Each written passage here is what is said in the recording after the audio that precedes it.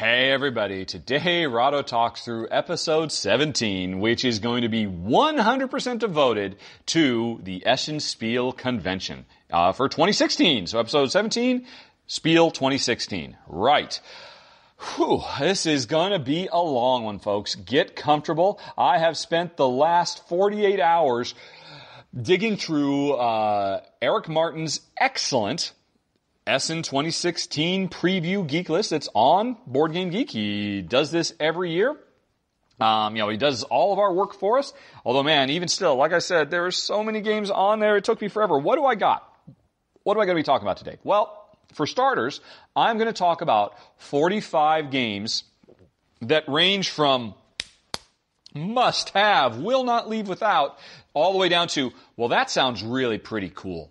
I really got to find out more about that game. So that's what we're going to start with. We're going to go through the 45 games of interest that I have identified as I really am going to try and seek out. And actually, it's interesting. That list is going to serve double duty. One, it's just for anybody who's going to the show and you're curious what I'm interested in, but also for all my Rahdo runs through backers who get to vote, they, uh, well, actually, the high level voters are going to be voting on what games I'm going to pick up. And so this list will hopefully help them uh, make more informed decisions because some of these games they probably will never heard of. So I'm going to do my best to try and sell what's cool about them so the voters can make informed decisions because they're going to decide what games I actually go and get. And uh, so that's the, be the, probably the first half of this is going to be talking about those 45 games. But that won't be all. After that, I will then also talk about how many is it. It looks like 18 expansions, which again, the voters are going to be choosing well, how many of these expansions am I going to be picking up and seeking out and ultimately doing run throughs of. So first we'll talk about the games, then the, the must-has games, then we'll talk about the must-has expansions. After that, we will move on to a list of what is it now? Uh, 36 games that I've already done run-throughs for. So, um, you know, it's, I mean, and some of these games are absolutely phenomenal. Some of these games are potential game of the year candidates, and some of them are like, oh, well, that was kind of nice. But the important thing is, I'm not going to spend too much time on them because you can just go and watch my run-throughs of them. But still, I'll just, I'll run through them really quick so you can at least know, hey, here's a whole bunch of games at Essen that I've actually done videos for if you want to know more about them. So I'll get, I'll do a quick run through of those, and then after that, I will will be talking about, what is it? looks like 16 games that you cannot buy at the show, but that will be at the show so that you can play them. And um, these are all games that I am personally very excited about seeking out and trying to get some time at the table to play because they look like they're really interesting. So uh, that and that right there, that might be the end of the podcast because by that time I expect. I will have lost my voice entirely. Because how many games is this? I haven't even done the math. It's a lot of games to talk about.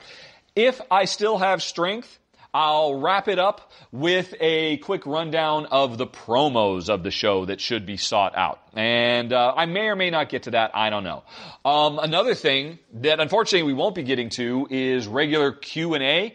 I know some people absolutely love that, but this month it's going to be all Essen Spiel all the time. Q&A will return next month. And also, I'm way behind on doing my top 10 recap, so we'll be trying to get back to all of that next month. But, um, this time, it's just going to be about all these games. And also, that means I think we won't be hearing from Jen, unfortunately, because while she will be at Essen, uh, she'll be there not to play games, but to sell gamer glass. And we'll be uh, talking some more about that. Actually, watch coming soon. I'll be doing a video where, because once again, Jen will be running a contest, and so that'll all be very, very exciting.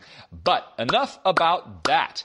Are you guys ready? Are you comfortable? Um, do you uh, have you turned the lights down low? Have you got some mood lighting going on or some mood music? Well, um, tell you what, I'm going to need some of that because this is going to be a rough. Oh man, I'm just looking at this list. You can't see it. I've just got this big old Excel sheet. It just never ends. Oh my goodness. Uh, wish me luck, folks. We'll be right back. Okay, folks, are you ready? Right. this is going to be absolutely insane. Uh, like I said, 45 games, starting off with the ones at the top of the list Maybe I don't know that much about them. Maybe I'm just a little bit nervous about them. Who knows? All the way down to the number one, or the number, the two, the three, and the four, the ones that I will not leave Germany without in my hot little hands. You know, grab them or die trying kind of situation. Let's start the countdown with number 45. Power Grid, the card game, which is the latest from Friedemann Friese. And, you know, I'm confident this is going to be a good game. In fact, I'm confident this is going to be a fantastic game. The reason it's so high on the countdown is because I'm not confident it's going to be a very good two-player game. Because Power Grid itself is not a great two-player game. And in fact, uh, it's been my experience more often than not, Friedemann Friese's games generally are so-so at two players. So, while I'm excited about the idea of this because Power Grid is a phenomenal design, so a card game version of it, that should be really cool. I just, I am nervous. Will it somehow work well with two? I don't know. Uh, but I'm definitely interested in it. So that's number 45, Power Grid, the card game. Then on to 44, Motion Pictures, Movies Out of Cardboard. And, you know, this one is a heartbreaker. I'd love to put it higher because I am so in love with the theme, uh, you know, basically being able to run your own golden age movie studio, or actually no, I don't even think it's golden age. I think it's actually modern era. And you are dividing your time between making movies, making TV shows, making commercials, whatever it might be. Hiring the right talent to be able to put the right stuff together and score a lot of points. I love that. That's, it's a wonderful theme. I mean, I worked on the movies, uh, the video game from Lionhead years ago. So I've always loved the, the genre, but for whatever reason, the publisher has decided to put out almost zero specific concrete information about this game. Publishers who are planning on launching games at Essen Spiel you know, we're, we're just a bit more than a week away. I'm recording this on a Monday. The show starts next Thursday. Why haven't, why aren't there more games with their rules posted? Why aren't there more screenshots of what this game looks like? Why aren't there videos walking me through it to get me excited, to get me hyped? Right now, all I can go on is the theme. And I love that theme, but they're not giving me much more, so that's why it's at number 44. Motion pictures, movies out of cardboard. Then on to 43. Uh, Die Baumeister des Colosseum, which is German for Builders of the Colosseum. This is another fine example of a game that could be very, very interesting to me. I, you know, I've been to the Coliseum in real life. Jay and I, we've both been there, so we have a implicit interest in a game that casts us in the role of the architects, the, the people who actually cr- make that incredible wonder of the world. So I'm interested in the theme, and I'm certainly interested in the designer pedigree. It's from Klaus Jürgen Wrede, the designer of Carcassonne. And, uh, which, if that wasn't enough, also the designer of Rapa Nui, which is a phenomenal, overlooked, little, uh, you know, underappreciated gem of a card game. So, you know, Klaus is, this is, this is his first big game in a while that wasn't just some kind of Carcassonne tie-in. That in and of itself should be interesting. And yet, once again, the publisher gives us nothing other than, I believe, a, a picture of the board. And that's it. That's not enough. This game, you know, based on the pedigree, based on the theme, should be much, much higher. But again, with, in the absence of information, all I can do is list as number 43, uh, Die Baumeister des Colosseum. Then on to number 42. Chariot Race. Actually, uh, the full title I don't really quite remember. I, I, I should have actually written down the full name of it, but Chariot Race, subtitle something, something, something, something. I'm really excited about this one. I guess I'm excited about all of these. I mean, if I wasn't excited, I wasn't even going to make the list. So, um, but you know, I, I'm a bit tempered in my excitement for this because while it is from designer Matt Leacock, which is a big, big deal right there. One of my favorite designers of all time, you know, the mastermind behind all things pandemic and Forbidden Desert, I also love. I also love Roll Through the uh, Ages. So, uh, you know, Matt Leacock game, instantly going to be interested, instantly going to be pulled in. Particularly because, hey, it's not pandemic themed. Just like uh, Die Baumeister Colosseum is not a Carcassonne game from Klaus Wrede. Hey, Matt Leacock not doing another pandemic or pandemic inspired game like the, uh, what was it, the Thunderbirds he did last year. Totally new game. So I'm super excited.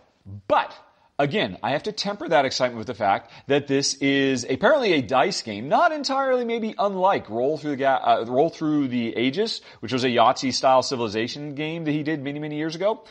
But this one is about recreating races in, in, the Coliseum. Hey, actually, I didn't even, I put these right next to each other. I didn't even uh, pick up on that. So, apparently it's a race game with a fair bit of take that. And so you are rolling dice as much to be able to succeed and speed ahead as you are to try and attack your opponent and tear them down. So, based on Jen's and my predilections, I, it gives me a little bit of pause, but, and, and otherwise, you know, this would be in my top 20. Um, but I, am just a little bit nervous. Is it going to be a turnoff for us if we're constantly at each other's throats trying to rip each other down instead of building ourselves up? That could be the case with Chariot Race number 42.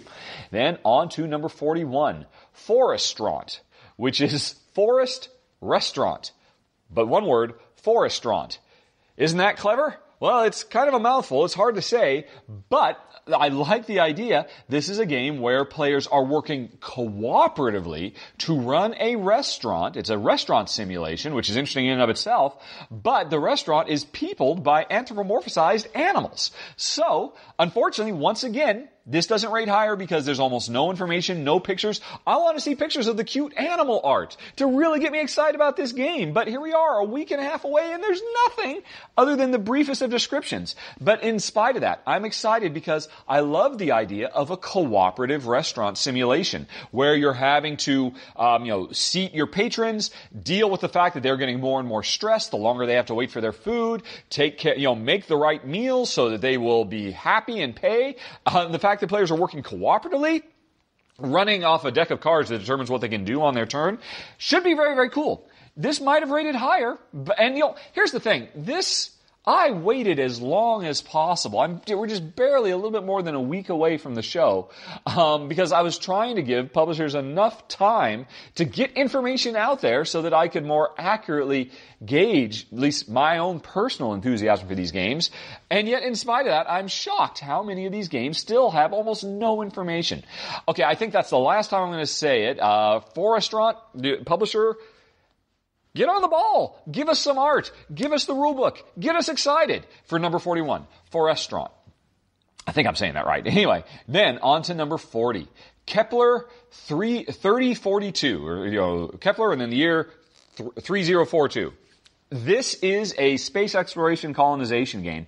And the thing that's really interesting to me about it is you know, it purports to have a very, very hard focus on hard speculative science. This is not just some, this is not like a fantasy game set in outer space like Star Wars or, um, you know, Knights of the Old Republic, that's Star Wars too, or, you know, uh, uh, Twilight, Imperium, you know, these things are just, you know, kind of silly. I mean, this is based on speculative a science fiction about where we are going to be in the year uh, 3042. You know, I mean, so there's a big, big emphasis on tech trees in this game, but tech trees that again are based on our best guesses as to what life will be like in that future. So I'm intrigued for that reason.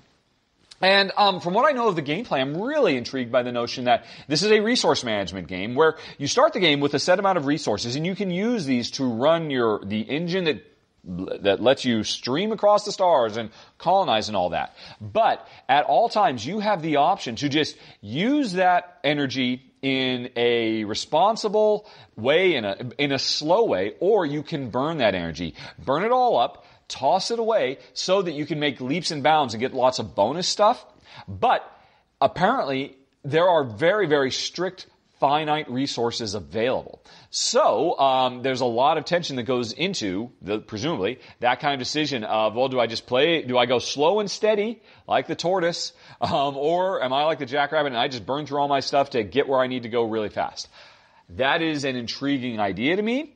And it's interesting. This was on Kickstarter a while ago. It was a successful Kickstarter. And the publisher did contact me to do a run through for it at the time. And I have to admit, I was really wanted to do one, but the problem was when they sent me the rules to read at the time, they had only recently been translated from the original Italian, and they were very, very tough to follow. So I ultimately had to say no because I just, I, I generally don't want to commit to doing a Kickstarter prototype run through unless I'm already sure ahead of a time I'm going to like the game because I don't want to waste anybody's time, um, you know, the publisher's time, my time, Jen's time, etc., etc. So since I couldn't quite grok the uh, early rules translation that I, you know, I ultimately passed on doing a run through for it. But, you know, Lance Meister, Undead Viking, he did one and it actually looked pretty good. So I'm still excited about this, but, you know, I, I still just need to know a little bit more. But anyway, that's my number 40, Kepler 3042.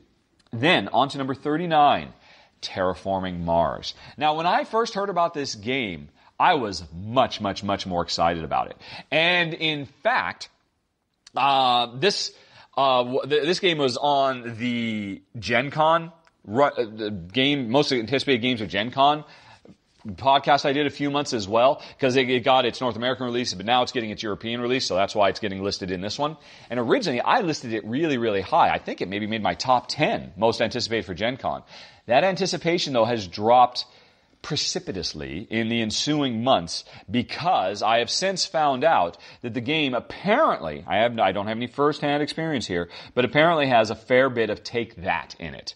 It's a, a card game where you are trying to build up cards into your tableau to make your, um, your engine that is all about terraforming Mars as efficient as possible as we try to get a breathable atmosphere and um, you know habitable environment and all that. It's you know it's a very very big ambitious scope of the project we're doing in this game because the game itself lasts for hundreds of years while we terraform Mars and everybody's, you know, doing their best to be the most successful at it over the course of the game.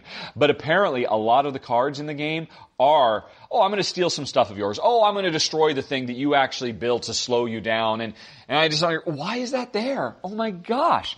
Everything about this game had me so excited. And now, um, you know, the thing that actually really tipped my hat that got me nervous was when Tom Vasel did his video review of it. And, you know, he went out of his way to point out the fact that there was all this stuff. Now he has since actually contacted me and said, well, you know what? I think you could probably just pull all of the nasty attack cards out and it really wouldn't hurt the balance. I'm not sure, but I think that might be the case. But then I read elsewhere that the uh, designers of the game themselves, when asked, said, well, we don't really recommend that because they are kind of crucial to the balance of the overall game.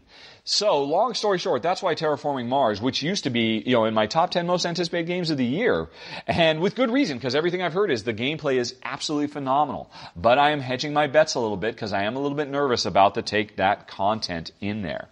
And so, that's why it's sitting at number 39. Then, on to 38, uh, Martians, A Story of Civilization. Uh, yet another. Mars is the hot topic this year, and um, Martian Story of Civilization, I believe, is getting its launch at Essen this year. And now this one is not quite so ambitious in the scope of the project. We're not trying to terraform Mars. We're just trying to colonize. It's just the early days of mankind's first baby steps to get off this planet. And the interesting thing, it's not the only game that covers this subject matter. There's a few other ones out there. The interesting thing about this one more than anything else is you have the option. It's, it's more of a, a uh, Euro style resource management game than just about any of the other ones. And it allows you to play either competitively or cooperatively. And now on the surface, that sounds really great. I love the idea of that. But it always does make me hesitate a little bit because I always wonder, well, if the design process was fundamentally split between trying to make a really solid cooperative game and a really solid competitive game, did they do both equally well? Would they have been better jettisoning one to make the other better? I don't know. That's why it doesn't rate higher because, I mean, I, there, now this one has lots of pictures. The rules are available to download. There's plenty of information out there. But having not played it, I do worry just a little bit how well, I mean, I'm mostly interested in as a cooperative game as well, because it seems like all these other Martian games, for the most part, are competitive. Actually, that's not true. There's one that's unfortunately not coming out till next year from Portal Games that's cooperative as well. But for the most part, the, the Martian wave of games have been competitive. This one allows you to play cooperative. I'm excited about that, particularly because it apparently it also has a lot of different scenarios, so you have different cooperative scenarios to play through. That sounds really cool. But again, will it be as good or was it really designed at its heart of hearts to be a competitive game? I don't know. Or will the competitive game suffer or will they both be awesome? Again, I just don't know. That's why I'm hedging my bets and putting it at number 38. Martian, A Story of Civilization. Then on to number 37. Honshu. Now, this is a simple little card game. Uh, looks like it has nice art, and uh, it seems very simple. Actually, it reminds me a lot of uh, the Hanging Gardens, which is a game Jen I've had for a long time. I've never done a run through for it, but it's a really excellent game. The notion is that you've got all these cards that have uh, you know have a grid on it with multiple terrains on top of that, and we're all playing cards to the table and we're playing them, stacking them on top of each other, creating kind of this patchwork of cards. And, uh, you know, uh, we're trying to make sure our lake spaces are next to lake spaces, our forest spaces are next to forest spaces. But every time we put a new card down, we're potentially covering up other cards. And again, this is something that works wonderfully in the Hanging Gardens. It works really well in Ravens of Thri Sahashri. It worked really awesomely in Patchistory. So I'm really, really keen on this notion, and I'm, so I'm really excited about Honshu. Simple as that. Um, I probably maybe should rate higher, but again, haven't played it yet. So, uh, but I, I'm really, I'm really confident that it should be a very, very solid game. 37. Honshu. Then on to 36. Kingsburg second edition. Now, a lot of people are probably very, very excited about this because Kingsburg has been a very well, well beloved dice worker placement game. In fact, it was really the first game that popularized the notion of dice worker placement, which is nowadays kind of a, a fairly popular and successful subgenre of game design. But Kingsburg really put it out there. And, uh, you know, it's been around for a long time. It's been out of print for a long time. And now it's been picked up by a new publisher. It's gotten a complete graphical overhaul. And uh, it's getting re-released with the expansion content, I believe, that came with the game originally, plus some new expansion content, I believe, which wasn't available prior. Now, Jen and I, we did play Kingsburg a long time ago, back when we first got into gaming, and we thought it was actually a pretty cool game. Um, although we did find that if you didn't play the original Kingsburg with the expansion, it got really stale really quick. But the expansion made sure that you know it, it, it was kept fresh. And as hard as it is to find Kingsburg, it's even harder to find the expansion. So it's great that it's coming back out, and the expansion will be available to everybody. Jen's and my problem with it at the time was, and remember, we were still fairly new to designer board games at the time, was for Jen, it was super duper AP inducing. I mean, just like to an epic level. Now, we are much more seasoned gamers these days. So I have to admit, I'm enthused about the notion of going back and trying it again, see if uh, it works better for us. Plus, I'm enthused about the idea of what they've done when they revisited the design. Did they clean anything up and whatnot? Now, I know some people are actually very, very disappointed by the graphical overhaul it got, you know, the new art style. It's, what's the best way to put it? It's much more dry looking. It looks more like a euro. And I mean, because the original game was like very bright and colorful and vibrant, had a lot of personality. This one is a little bit more staid, a little bit more reserved. And I mean, to me, it looks fine, but I know some people are very, very disappointed. But I, it's not about the art, it's about the gameplay. I already knew the core gameplay was good. Like I said, so this one I'm more excited about going back and trying it to see if we have grown as gamers anymore. So that is, uh, but it just doesn't rate higher because again, we did ultimately traded away originally. Maybe we would again. Maybe it's not worth seeking out. That's number 36, Kingsburg second edition. Then on to number 35, Dream Home. And this looks lovely. It's a game where each player is trying to build their dream home, their modern little perfect slice of suburbia I think uh, you can make a two, or I think the house can ultimately be three stories tall. And the at its heart, it's a card drafting game where every turn there's a bunch of cards out on display. I'll take cards and add them to my home, and then you'll take cards, add them to your home, and so on until everybody has completed their home, and whoever built the best one, you know, is the uh, you know has the best layout of rooms, the best size of rooms, the best interdependencies between rooms uh, makes the best house wins the game. The interesting thing about the game is though the cards that you're drafting from they're all laid out in a row, and there's actually two rows: a row of room types, and then above that a row of resources. And what you have to do is, when it's your turn, you have to pick a column, which means you're picking a pair of cards. You're picking a room and you're picking a resource. You have to take both of them and you have to make use of both of them. And what I suspect is going to be the interesting tension of the game is, wow, I really want that room, but I don't want the resources associated with it because it's a hot tub and I don't have any place in my house to put a hot tub. So I'm going to get stuck with this hot tub because I want this perfect kitchenette that's going to expand my kitchen and make it awesome. But now I'm going to have to do, what am I going to do with this hot tub? I don't know.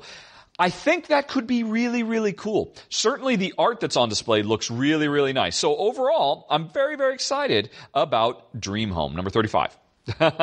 then on to number 34, Habitats.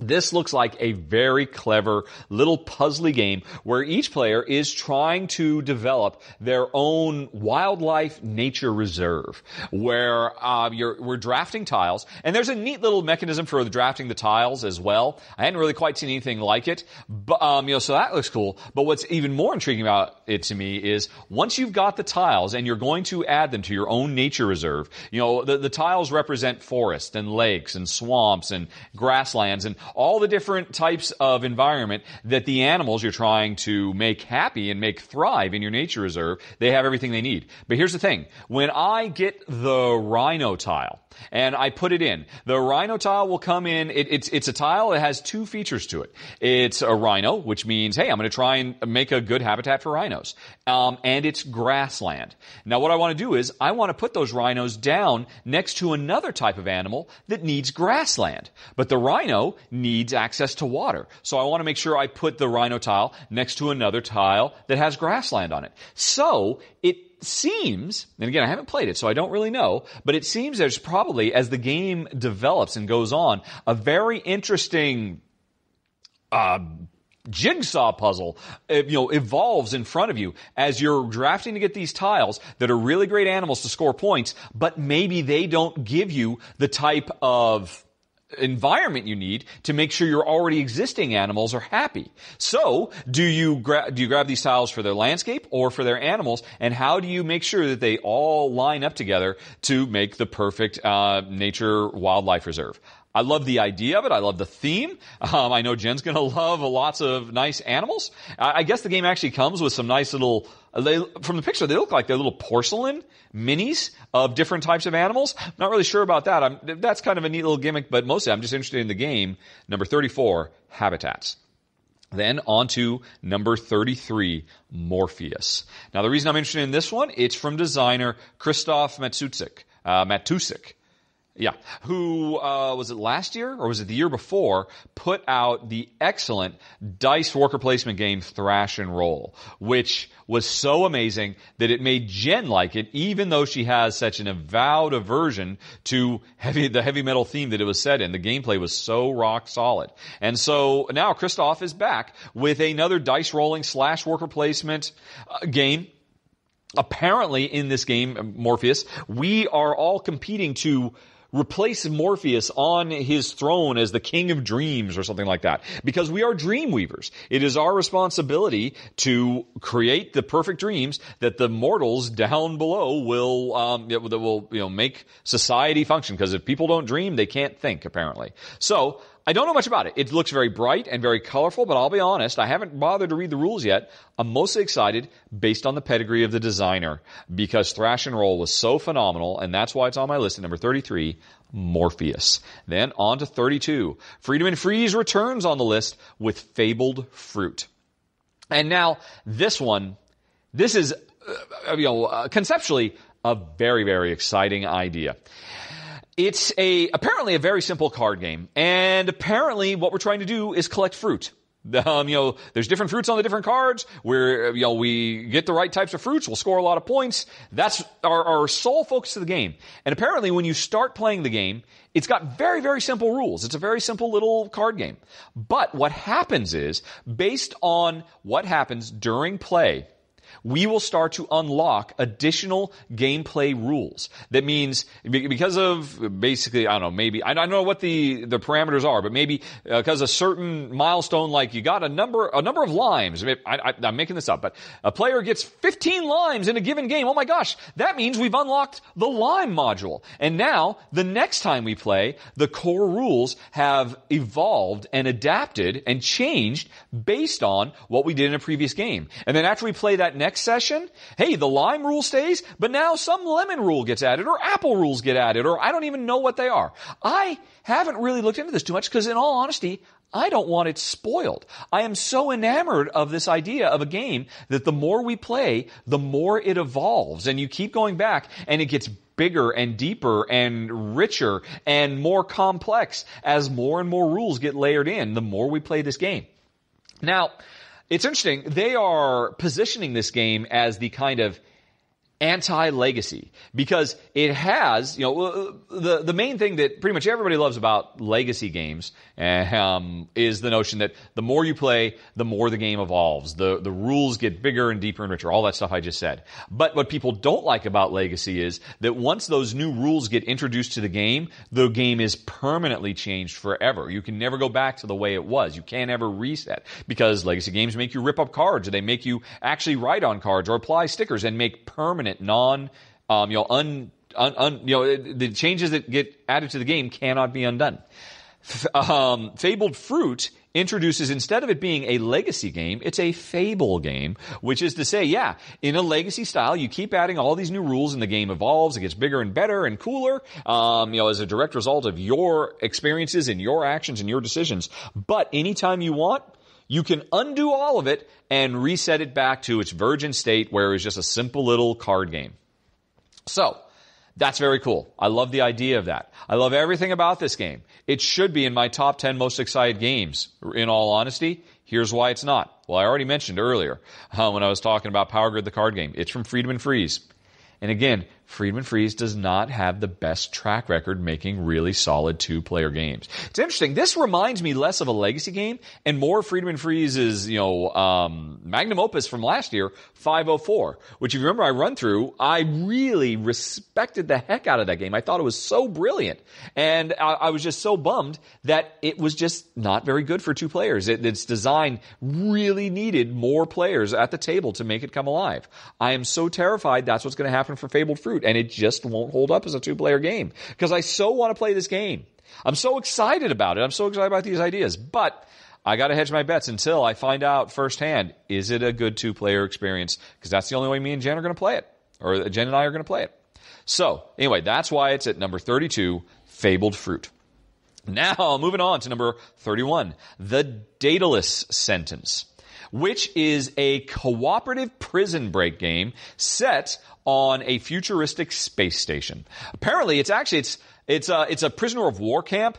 Uh, humanity has been all but wiped out by this invading alien race, and some surviving humans are captured and taken to this POW camp where um, you know they're experimented on by the aliens and all kinds of stuff like that, and they are just trying to escape.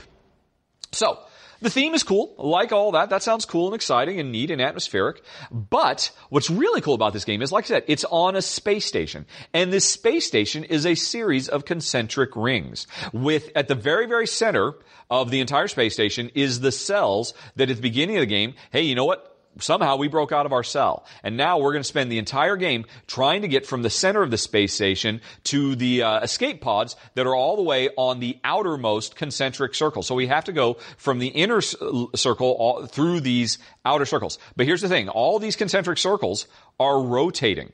Because it's a space station. And they might rotate clockwise, they might rotate counterclockwise. So the entire maze that we are trying to escape from is in motion. You know, it, not, this game doesn't come with batteries. It's not like it's constant motion, but there's a puzzle element to it that at the end of every round, um, the station is going to rotate. And, you know, the guards you're trying to avoid, you might have thought, hey, I'm safe. I'm, they're nowhere near me. But then the station rotates and, oh my gosh, they're right outside. What am I going to do? And, oh, I thought I was going to get over to the weapons locker, but oh no, now it's rotated and there's a lock locked door between us. That sounds really cool. And I've seen pictures of it. it basically, the way it works is uh, it comes with this big tray, and you populate the tray every time you play. You, are going to get a randomly generated uh, um, space station with all these different rooms all over the place, and you basically are able to rotate each ring independently of each other. So I love the idea of it. It sounds really, really cool. I can't wait to give it a try. That's number 31. I, um, you know, and so basically at this point, obviously, I'm getting to the stuff where you know, I, I, don't, I don't really have much hesitation. Everything up until now, I've had some kind of hesitation that makes me think, well, I don't know, maybe, maybe not. With Daedalus Sentence, I'm pretty confident that this, I mean, this idea is so cool. The gimmick of it that, you know, kind of reminds me of the Gears in Tzolk'in, you know, a, a, board that's constantly in motion. Or, oh, what's the other cooperative game that I love? Uh, Forbidden Desert, a, a board that's constantly in motion. I've had great experiences with that in the past, so I'm very excited about number 31, Daedalus Sentence. Then on to number 30. And honestly, I almost put this on my list of most excited expansions, which will be coming later in this podcast. But, you know, I knew people would would have a cow, man, if I did that. But here's the thing. I'm only thinking about this as an expansion. What is it? Number 30, Codename Pictures. Because in all honesty, we already have Codenames. We think Codenames is awesome. We have a party game. If we ever need to have a game where a whole bunch of people have to be uh, entertained. Not that that's ever likely to happen, but if it ever does, hey, we've got we can bring out Codenames. It works. I played it. We played it just as a two player game. I played it with a bunch of players. It's just a phenomenal design. Holds up to multiple replays. Absolutely great. What does Codename Pictures do? It just takes the words out and replaces them with pictures. Game stays exactly the same. I don't really need Codename Pictures. The thing I'm most excited about it though is not as a standalone game, which it works as a totally standalone game. That's why I've listed it in the in the games countdown. I want it as an expansion for Codenames because there's a variant rule where you can mix and match pictures and words. That sounds very, very exciting to me. I'm really intrigued by that. And so I look forward to Codename Pictures as an expansion to Codenames. Okay, and then, uh, but, and, and, the only reason it's not higher is because I've already got Codenames. And I, I, don't expect this to really, you know, fundamentally, you know, blow my socks off. I'm just, this will be fun. It, will be a, a nice little expansion, some new content for Codenames. Alrighty, then on to number 29. Treasure Lair. Now, this is a uh, fantasy adventure game um, where you are. Let's see. Wait. Yeah, yeah. Oh, I, I see. I'm getting this mixed up with another one. Um, actually, number 29 is Treasure Lair. Number 28 is Risky Adventure. Which one is which? Uh, I was just doing all my studying. I mean, I actually say I, I, I spent so much time cramming for this, and now I'm starting to get it mixed up. Let's see. Treasure Lair. Oh yeah, okay, yeah, no, that's the one from AEG. Treasure Lair is an interesting game. Um, in all honesty, I'm mostly keen on this one because lately AEG has been on a tear. They've been producing good game after good game after good game. And this looks like a good solid adventure card drafting game with some really nice art. The, the central conceit is, you know, we are adventurers. We're going out, you know, trying to, you know, find fortune and glory and score a lot of victory points in the form of treasure and all that. That's all cool. But the method we use to um, travel through the world and fight monsters and then you know plunder dungeons or whatever is a card draft. There are at any given time on display three action cards that give you a primary and a secondary action that you can do. And on your turn, they're they're all out there on public display. You pick one of them, and uh, so that very harshly limits you in what you can do. And after I pick that one, that card is gone, a new one comes out, and that's gonna, then the next player, your opponent, has those three cards to pick from. So, card drafting always works in a, in a well-designed game. Um, to such a high degree, I put it in my top 10 gameplay mechanisms. I love card drafting. So anytime I see a new way to use card drafting, I'm instantly excited. I'm excited here because I, I love this, this action card draft. There's a primary, there's a secondary. You know, I really want that secondary action. I don't want the primary action.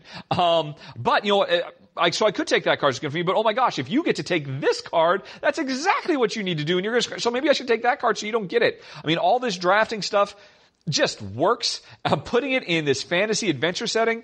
Um, I'm excited. I, I, cannot wait to learn more about Treasure Lair. Then, um, anyway, that was number 20, number 29 Treasure Lair, and then number 28 is Risky Adventure, which is another fantasy adventure game this time from Queen Games instead of uh, AEG, if I recall correctly. Um, where once again we have a group of adventurers and they are um, traveling around you know, uh, traveling the world, seeking fortune and glory, fighting monsters, getting treasures, etc., etc. Same basic setting. The the the conceit, the gameplay conceit for this one is that basically you have three adventurers. On your turn, you deploy one adventurer to the the nearby, you know, um, oh, what is it? I think there's like three places they can go. One goes to like a dungeon that's currently active. One goes to uh, to uh, a countryside that's active, and one goes someplace else. But anyway, they, they, you, you deploy your three adventurers, one to each of these three areas. And you have to make an interesting, you know, one of the areas there's, there's some cards that are out. One is there's a little board you can travel on. Anyway, so you, you deploy them. And, um, then what you do is, oh, well, how does this work?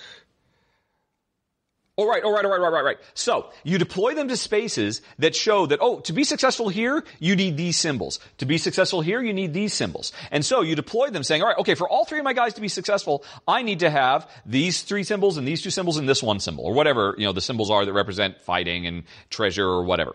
Then after you've deployed them all, you roll the dice um, and hope that you roll the symbols you need for those three adventures to succeed at the places you sent them. So, at the beginning of your turn, you've got this tough choice of where do I want to go, and you know what are the three places I send my guys to, so that I will up my chances of all of them being successful. Uh, do I do I make sure that they all go so there's a wide variety of symbols, so that no matter what I roll, chances are at least one or two of them will be successful? Do I double down, and um, then once I roll the die, do I start using my resources to re-roll and do dice luck mitigation and whatnot? I mean, on the whole, it sounds like a really cool idea.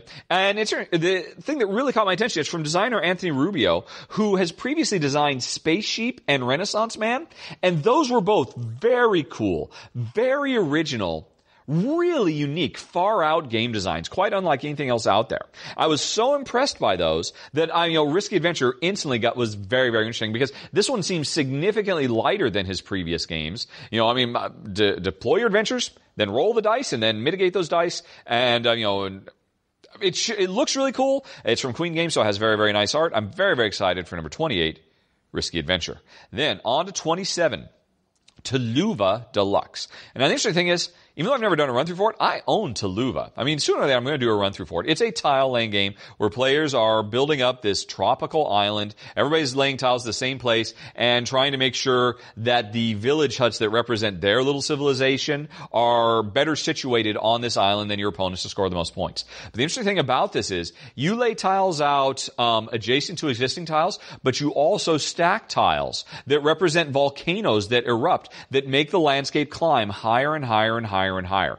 It's a really cool game. We've had our copy forever, and it's been out of print forever. It's been very, very hard to find. I got lucky and just found it, um, you know, for like a, a, you know, for like 10 euros or something like that at some German game shop years ago. And Jen and I really enjoy it. But it's been, no one's been able to get it for a long time. So it's now finally gotten a deluxe reprint. Apparently it's going to be launching at Essen and apparently, this deluxe reprint, you know, um, you know, revamps the art, makes it a bit more modern and sleek looking, but it also adds a bunch of new gameplay modules. So that's exciting. I want to know more about that. Um, although I, don't know if I really need it because Taluva itself is fine. So how much do I need this deluxe version? I mean, I can't imagine the game's been out of print for so long. I can't imagine they're going to do an upgrade for people like me who got the original. So do I just live with my original or do I get the new one? I don't know, but that's number 27, Taluva Deluxe. Then on to 26, Meduris, which is M-E-D-U-R-I-S, I believe.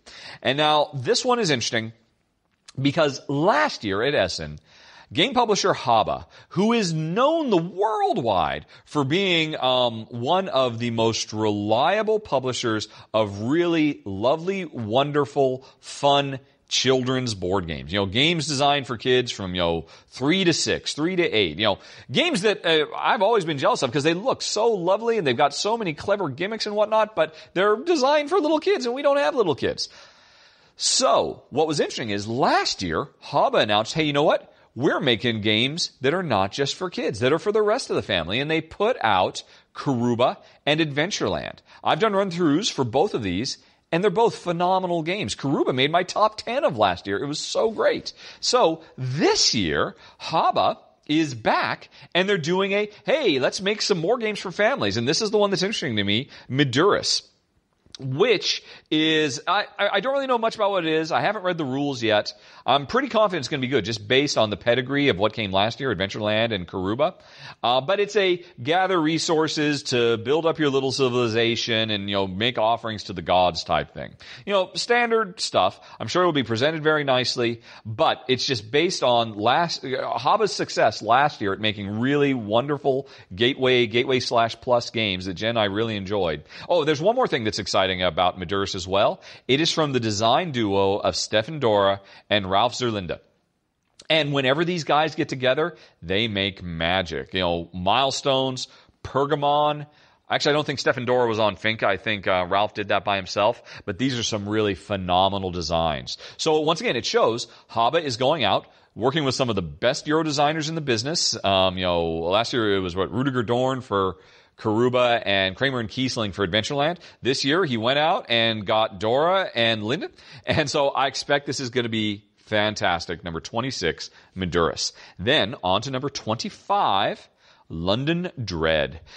This I'm super duper stoked for it. It is a Victorian era cooperative adventure game where players are running around London trying to foil some nefarious plot. Um, you know, and it's not the only game that, you know, features this subject matter, but what's really exciting about this is it's real-time cooperative programming. And, you know, if you may have noticed recently, I raved quite a bit about the real-time cooperative programming game Mechs vs. Minions. And years ago, there was another game that I've always been sad that Jen and I can't enjoy, Space Alert, uh, which is also another real-time cooperative programming game. I love that game so much that even though Jen and I didn't enjoy it because of certain design decisions, it made it into my top 10 games I was most sad to see go. I recently did that top 10. Um, so, I love cooperative real-time programming as a concept. So one that um, you know creates a really strong sense of storytelling in Victorian London, so, you know, solving mysteries and and all of that while real-time programming, and it also features a uh, optional app that you know has dramatic story reading and does the timer stuff for you. I'm really excited about this. Ever since I first heard about it. And apparently it got uh, launched at Gen Con where it was fairly well received. So now it's getting its European launch. So I cannot wait, cannot wait to uh, find out more about London Dread. My only worry with it, should I be? I'm not, I'm not worried. I'm not worried. It looks like it might be a little bit Ameritrashy. Maybe. I don't know. But still, I love app-based games. I love real-time. Co- I mean, if it's real-time cooperative programming, how Ameritrashy can it be, really? I'm confident. I'm excited. Number 25.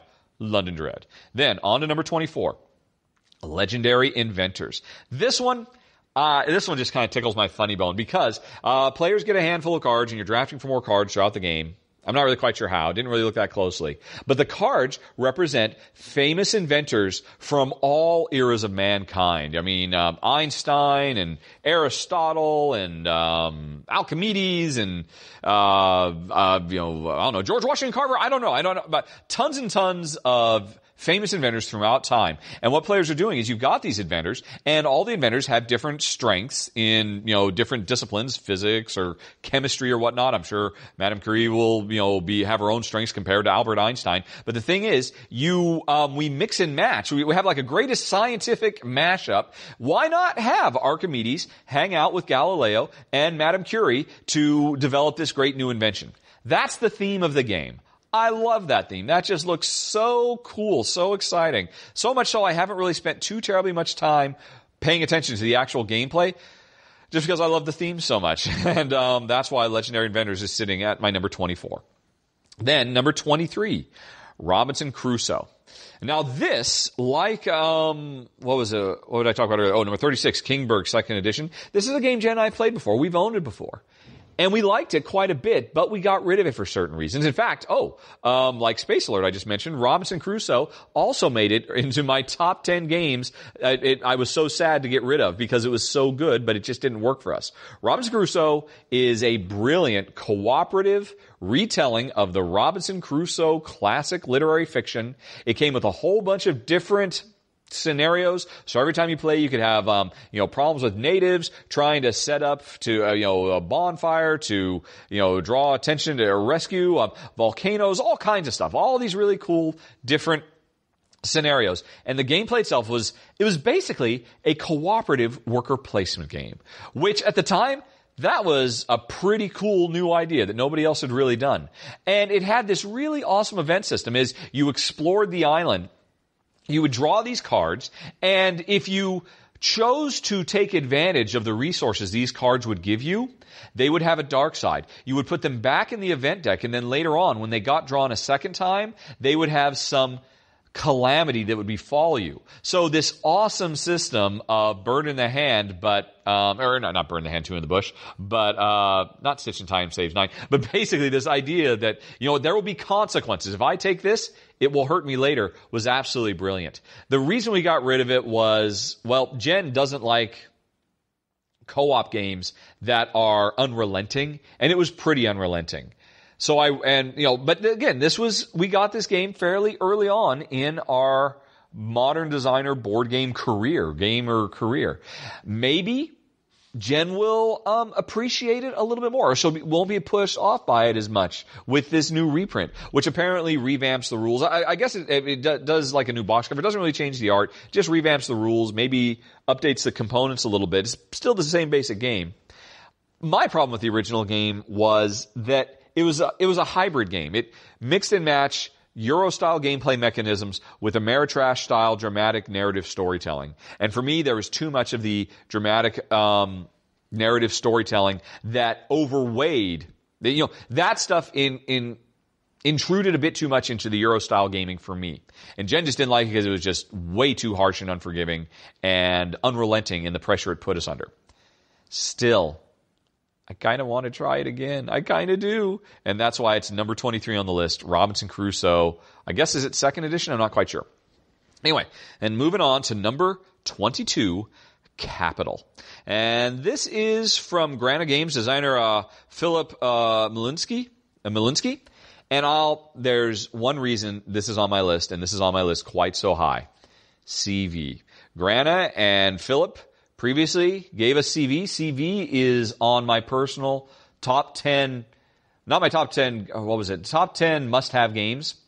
Uh, basically, I mean, if, oh, it was on my Desert Island games. That if I had to only have 10 games on Desert Island, CV would have made it. So, here's um, the same publisher slash designer bringing a new game. So, I have to be interested. Even though this one has nothing to do with CV, this is a game that tells the history of the city Warsaw, which is um, fairly well renowned for having survived so many wars, so many attacks. And today, Warsaw is kind of a patchwork city with all kinds of different architecture from all these different time zones that, you know, kept on going through wars and getting razed to the ground, but then kept getting built back up. This game as near as I can tell from reading the description, tries to capture that because it the whole game goes through six epochs of the evolution of Warsaw. It's a tile laying game where we're building up Warsaw over time and building new buildings on top of old buildings. But then at various points in the game, war will come and it will raze portions of the city to the ground. And so that will set us back, but it will also give us great opportunities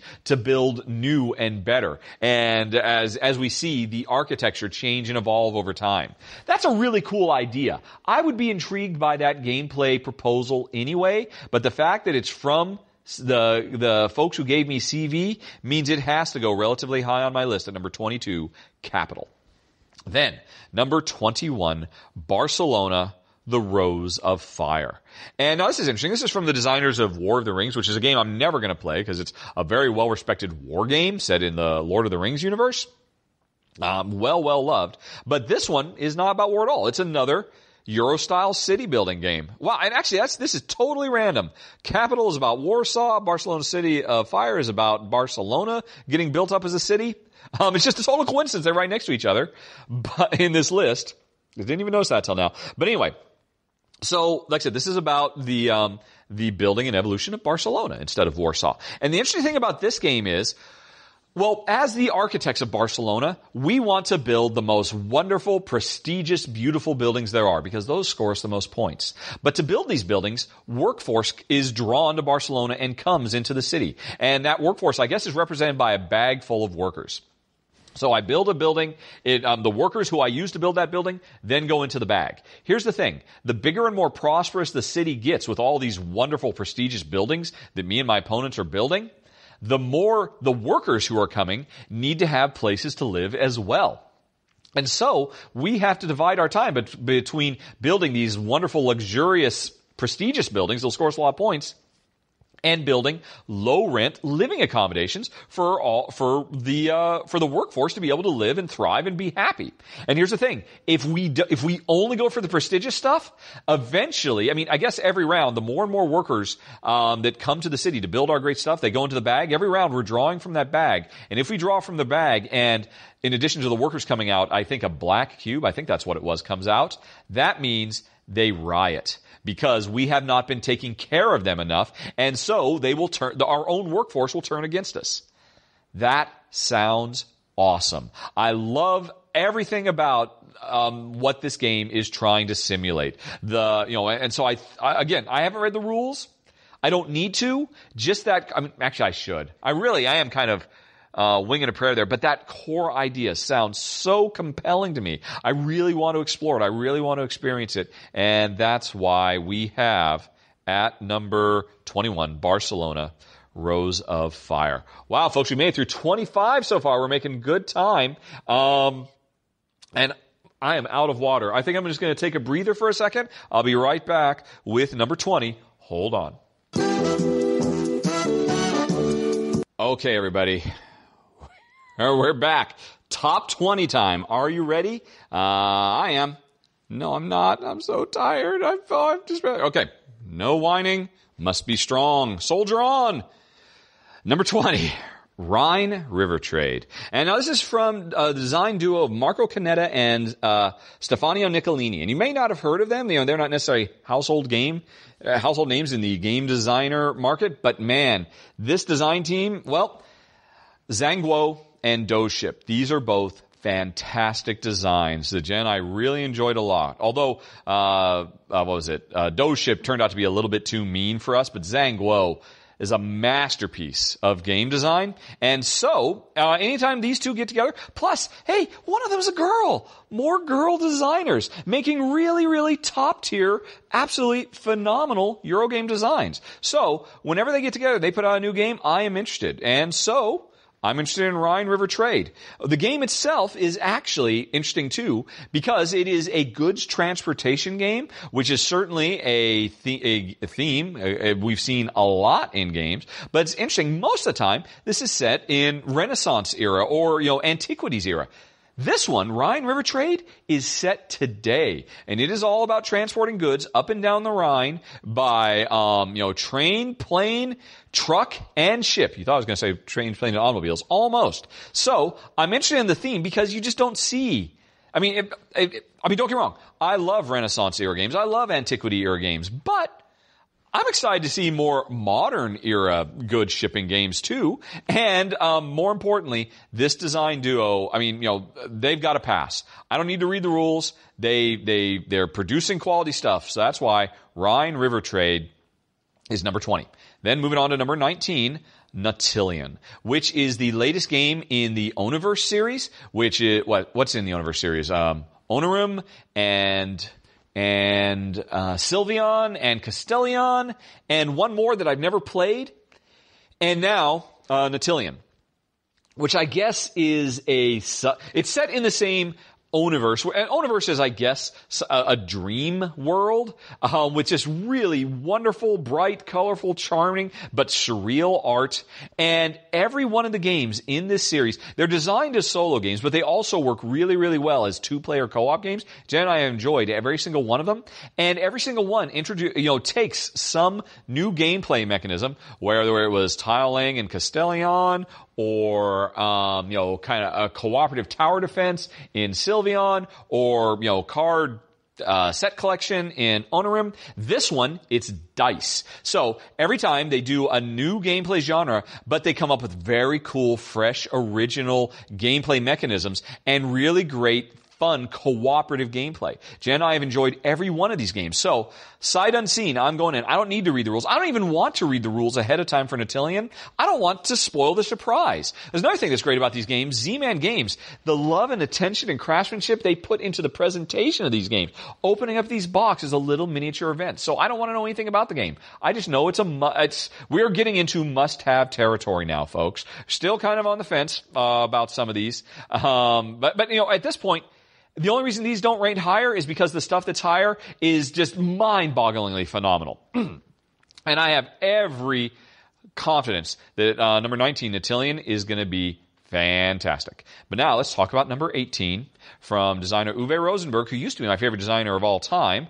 Uh, and I, I still greatly respect the man. But number 18, A Feast for Odin. You know, when I made this list, I was really surprised that when the, uh, when everything was in place and I had uh, arranged everything. This only came in at 18. This is Uwe's big, heavy euro. And in years past, when he was putting out, oh, you know, um, Gates of Loyang and uh, Ora et Labora and Agricola and Le Havre and Mercator. I mean, you know, a big Uwe, heavy, economic, resource management, Euro simulation, oh my gosh, I'd be all over it. It'd be my number one most anticipated game of the year. But these days, after Caverna and after Fields of Arle, don't get me wrong, those were phenomenal designs, but I've just been, I've gotten a little nervous that he no longer his design principles are not aligned with what Jen and I enjoy in board game design because his last two games, Field of Arle and Caverna, were so wide open, were such big sandbox games that ultimately we got rid of them. And I worry, will the same thing happen for A Feast for Odin? I'm, I'm cautiously optimistic because, well, I got to watch uh, Michael Visner's uh, MeWe's excellent run through of the game. And so that gave me a lot of confidence it's going to be great because this game features everybody right at the get go gets an objective card. And over the course of the game, you can get more objective cards. And that gives you direction. That gives you purpose. Um, I've still, I, I, I, you know, this doesn't rate in the top 10 only because I was just, only, only because of the recent games he's put out. But I know it's going to be great. I mean, heck, I can tell it was great from MeWe's run through. I know it's going to be a phenomenal design. The only question is, will it be too sandboxy? I'm cautiously optimistic. It's at number 18. It's a feast for Odin. Oh my gosh, and I can't believe I totally forgot. I'm just going to slip this in here right now. Cottage Garden, which is interesting, coming right after Feast for Odin because it's also from Uwe Rosenberg and uses some of the same mechanisms, the whole notion of this kind of patchwork Tetris pieces that all snap together to you know build your board as you go. And you saw this from Uwe Rosenberg in the past with patchwork, so he's revisiting that idea. And I got to admit, I'm actually really interested in this because patchwork was a lovely little game. And it's kind of funny to me. I'm genuinely speaking a bit more excited about it than I am about Feast for Odin, which is just kind of odd. So this is definitely one to look for. I can't believe I totally forgot it on the actual main list. But anyway, Let's keep going. Then on to number 17, Lorenzo Il Magnifico, which, you know, this is on the list. This is another one where, hey, oh, who designed it? Okay, forget about it. Um, this goes high, high, high on my list because the, the design team they've worked on Tzolk'in, they've worked on Grand Austria Hotel, they've worked on Egizia. Not necessarily any of those games altogether, but these designers have all had their hands in these really phenomenal designs. And now they've come together to make a worker placement game that's interesting. What I like about the idea is, you know, we have a bunch of workers who are going to get placed, um, but our workers all have different symbols on them. And we put our workers out and, you know, uh, the symbols on them are tied to symbols that are on the dice. And at the beginning of a round, we roll the dice that will determine how strong our uh, let's see. I, I, don't remember what the symbols were, but they were like they were color coded too. I think there was a black die, a white die, and a brown die, or something like that. And so everybody has a uh, you know a, a, a, matching black worker, white worker, worker, and brown worker. And so when I roll these dice, oh, this round all the white workers are going to be kind of weak, and all the brown workers are going to be kind of strong. And um, you know that actually, based on the dice roll, changes the dynamics of my workforce. And so what I thought I was going to do with my workers, I'm not going to be able to do that this round because of the dice roll. And next round, I mean, maybe the the the the uh, white worker will be uh, strong and the and the you know the black worker will be weak. I don't know much about it. That's all I know. This one little fundamental shift to the basic idea of worker placement, gathering resources, using them to convert into victory points that we've seen so many times. But the fact that my workforce is dynamic and fluctuating in its effectiveness based on dice rolls, that sounds really cool. So I'm excited about that. But more so, I'm excited about this um, design trio that's getting together because they have put together so many great games in the fact. That's why Lorenzo El Magnifico rates at number 17. Then on to number 16, Ulm, which is U-L-M. Ulm.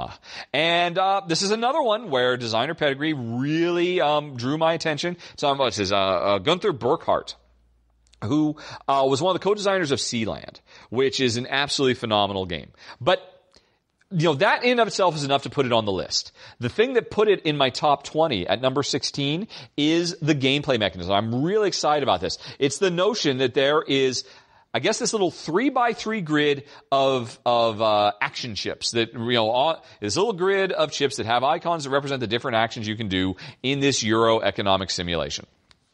Where uh, I forget what we're doing. I think we're building up a city again, if I recall correctly. I don't, I, I, I, don't even remember what the theme was. I was just so enamored of this when I when I read about and understood how this gameplay mechanism works. So you've got this three by three grid of actions you can do. You've got your own ship that has an action on it at the beginning of the turn. What you do is you take that chip, you put it on the edge of this three by three grid, and you slide it into the grid, which pushes out another chip. And so now what you get to do is you get to do all three actions that just moved on the grid. The, the one you slid in and the other two, and the chip that slides out becomes the basis of the action you're going to do on your next turn. That is awesome. That is mind-bogglingly brilliant. I am so in love. Just, I mean, just that simple little puzzle of a resource action management game oh my gosh, that is so brilliant. I cannot wait to try that. I, am I'm, I'm really, really excited. So much so, I don't care about the art. I don't, I mean, well, okay, I care about the designer too, but I mean, I, I want to play that game. That is such a brilliant idea. And that's why number 16 is Ulm. Then, let's move on to number 15.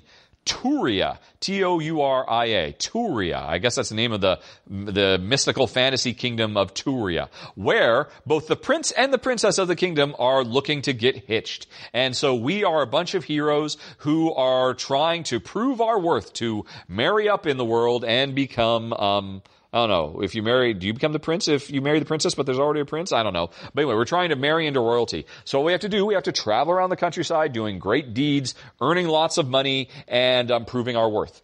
Here's how we do it though. This is another game that has what strikes me as a really brilliant action selection mechanism. There are four towers on the four corners of the board. Each tower is four sided. These are vertical towers. So imagine, if you will, a little tower, and on each side is an action. Now, where you're sitting at the table, you can see one side of each of the towers. So I can see that the towers it gives me a move action and a fight action and a mine action and another move action. I don't know.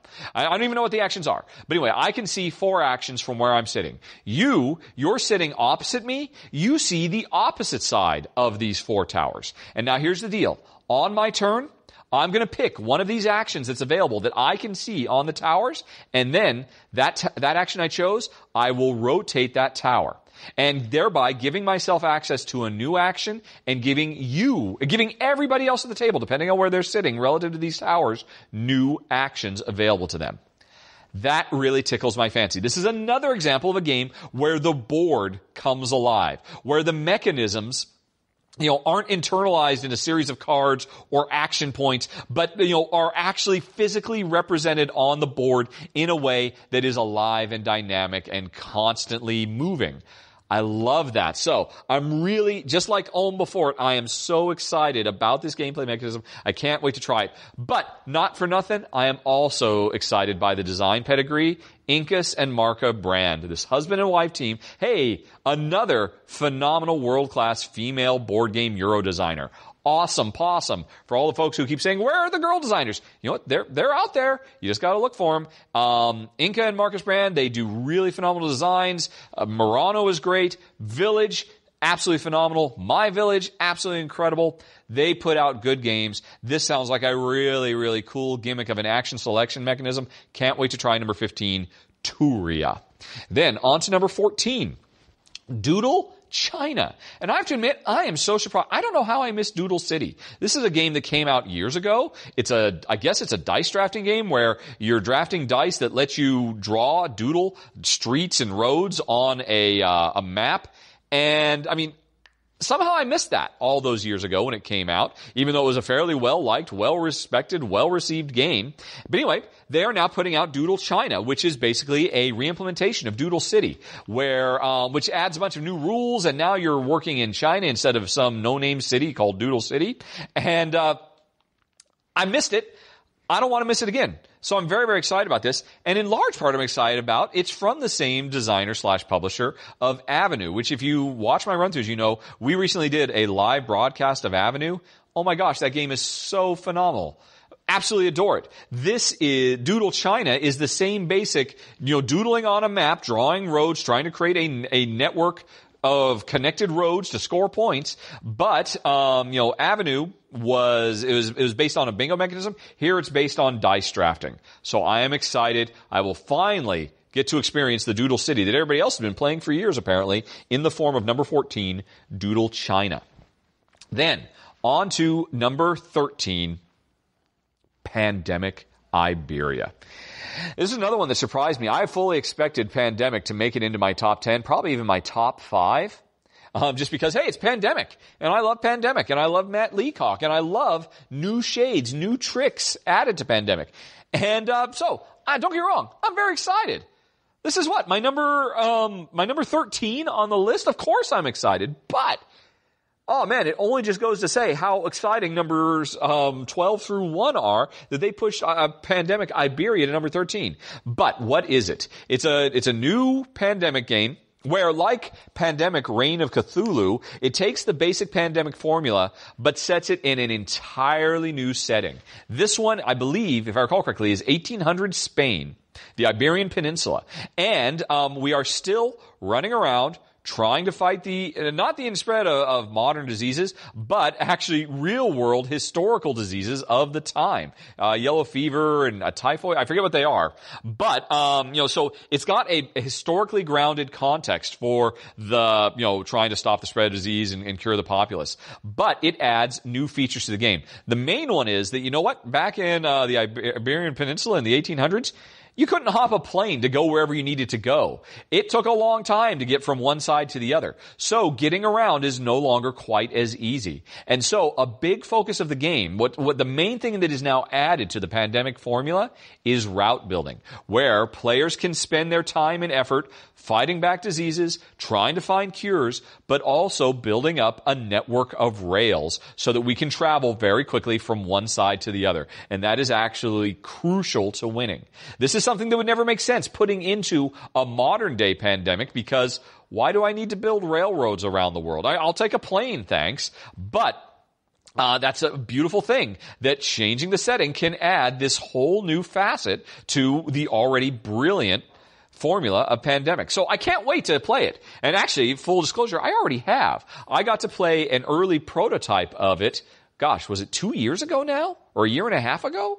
Something like that. Um, at BGGCon. Was it last year or the before? I mean, uh, time's lost all meaning. I've been talking for so long, folks. But we got to play an early version of it. I thought it was very, very cool. I can't wait to see how the final product turned out.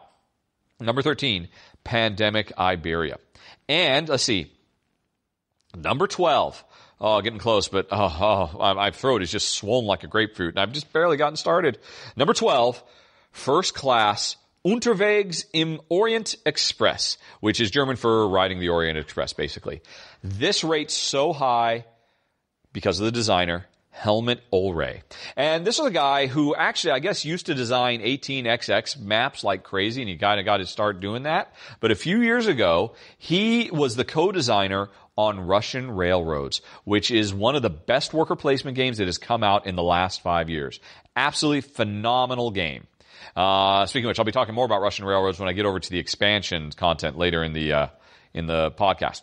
But Helmut is back. Oh, oh, oh! And if Russian railroads was enough, then the next year he did tramways, which is a phenomenal, um, great, wonderful card-based uh, train game. Now he's doing, he's back to trains, coming up with something new, first class, riding the Orient Express, um, where this time we're focused more on being passengers on the train, um, and while still building up the, uh, the what do you call it, the the networks and all of that. So I don't know. I haven't read the rules in all honesty, I'm a little bit nervous because this is from Hans im Glück, and I think so far it hasn't been announced that there's going to be an English version of the game, so the rules might only be available in German. I might be taking a big risk to rate this so high because, heck, maybe I'm not even going to be able to play the thing.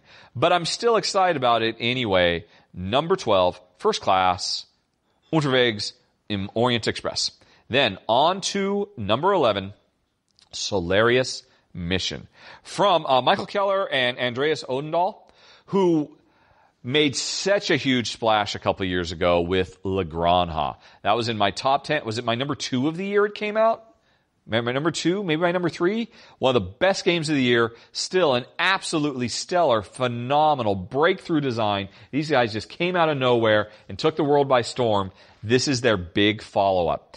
And it is a, an epic space exploration colonization game. Um, that's all I need to know. Again, I have not read the rules. I don't need to. I um, just am super duper stoked for this.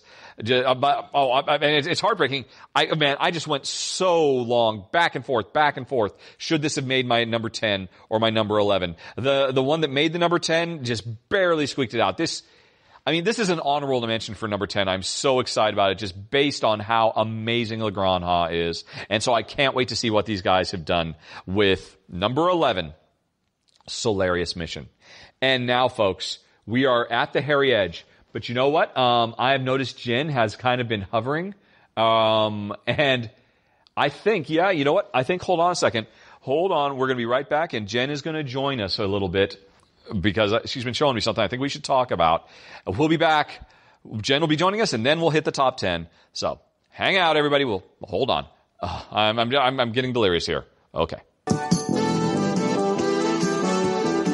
We're here, folks. We're finally here. There were so many games to go through, but these are the tops, the must-haves, the ones I will not leave Germany without in my hot little hands. Fingers crossed. I mean, hopefully. But you know what? Before we get to that, I'm not going to Germany alone. Actually, let's bring in a special guest appearance by my lovely wife, Jen. Hi, honey pie. Hello, everybody. Hi. Hi. Uh, like I said, Jen's going to be at the show as well, and you will actually have a booth set up, I right? will have a table at the stand with NSKN Games. Mm-hmm. They have been very, very generous giving me space. Yep, yep, yep. Lovely people. Lovely uh, people. Where are they? They are in Hall 1, G. 124. G124, Hall 1. So if you want to meet Jen, she- you're going to be there all four days. In the flesh. Right? Um, Yes. Except for the occasional bathroom break, I suppose. And uh, selling your, your gamer glass, selling jewelry. Yep. And also taking entries for your yearly Essen themed giveaway. Yes. Alrighty. Yes. And this year it is a lovely game called In the Name of Odin. Yep. And I've made some markers to go specifically with the game. They are runes, and they actually spell out the name Odin. And uh, they there's a special one that also means Odin. The red one actually that rune means Odin. Yep. So these are your Odin runes, basically. Obviously, you can use them for keeping score in the name of Odin, or well, really any game. Um, and so, basically, if people seek you out at the show, Yep. you'll have a sign up form, and at the end of the show, one lucky winner will get a full copy of the name of Odin Yep. and a custom handmade set of scoring markers in Right. Gamer Glass. Yep, just like those. Right. And in addition, I'm going to do a, another drawing for my online people who have signed up Right. on the website. Okay. So just go to jenefer.net and uh, give me your email address, and on probably Wednesday or Thursday after the show, we'll do another drawing. Yeah. J E N E F E R dot N E T. Yes. Sign up for her newsletter basically, and you could potentially win this as well. Yeah. Thanks very much to NSKN for hosting Jen and for also providing the games, although you'll still be providing the glass. Yep. And was there anything else about Essen you wanted to say? It's a nice partnership. Um, just one last little thing is that I was going to be offering T-shirts, Gamer Glass T-shirts, and also Rahdo runs through Spiel 2016.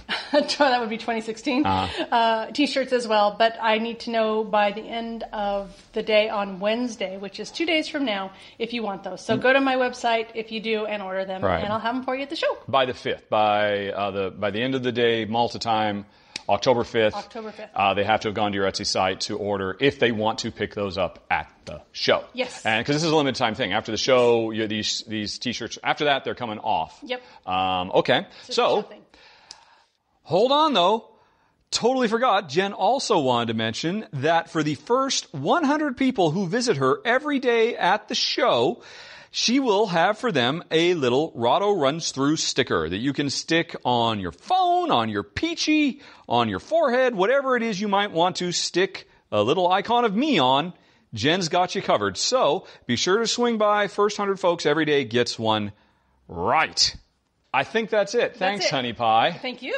Apologies to anybody. I think this is the first ever um, uh, commercial interruption of Rahdo runs through. But now, folks, now let's get to those final, those all important top 10 games. Right. So, number 10, where is my list? I have it right over here. Okay. Number 10 is The Colonists. And this one, I, I actually, of all my top 10, this is, I think, the biggest punt, the biggest gamble, the biggest risk. It's from Lookout Mayfair. Uh, it's from a brand new designer. This is his first published design. What is his name? Um, Tim Puls. I've got written down there.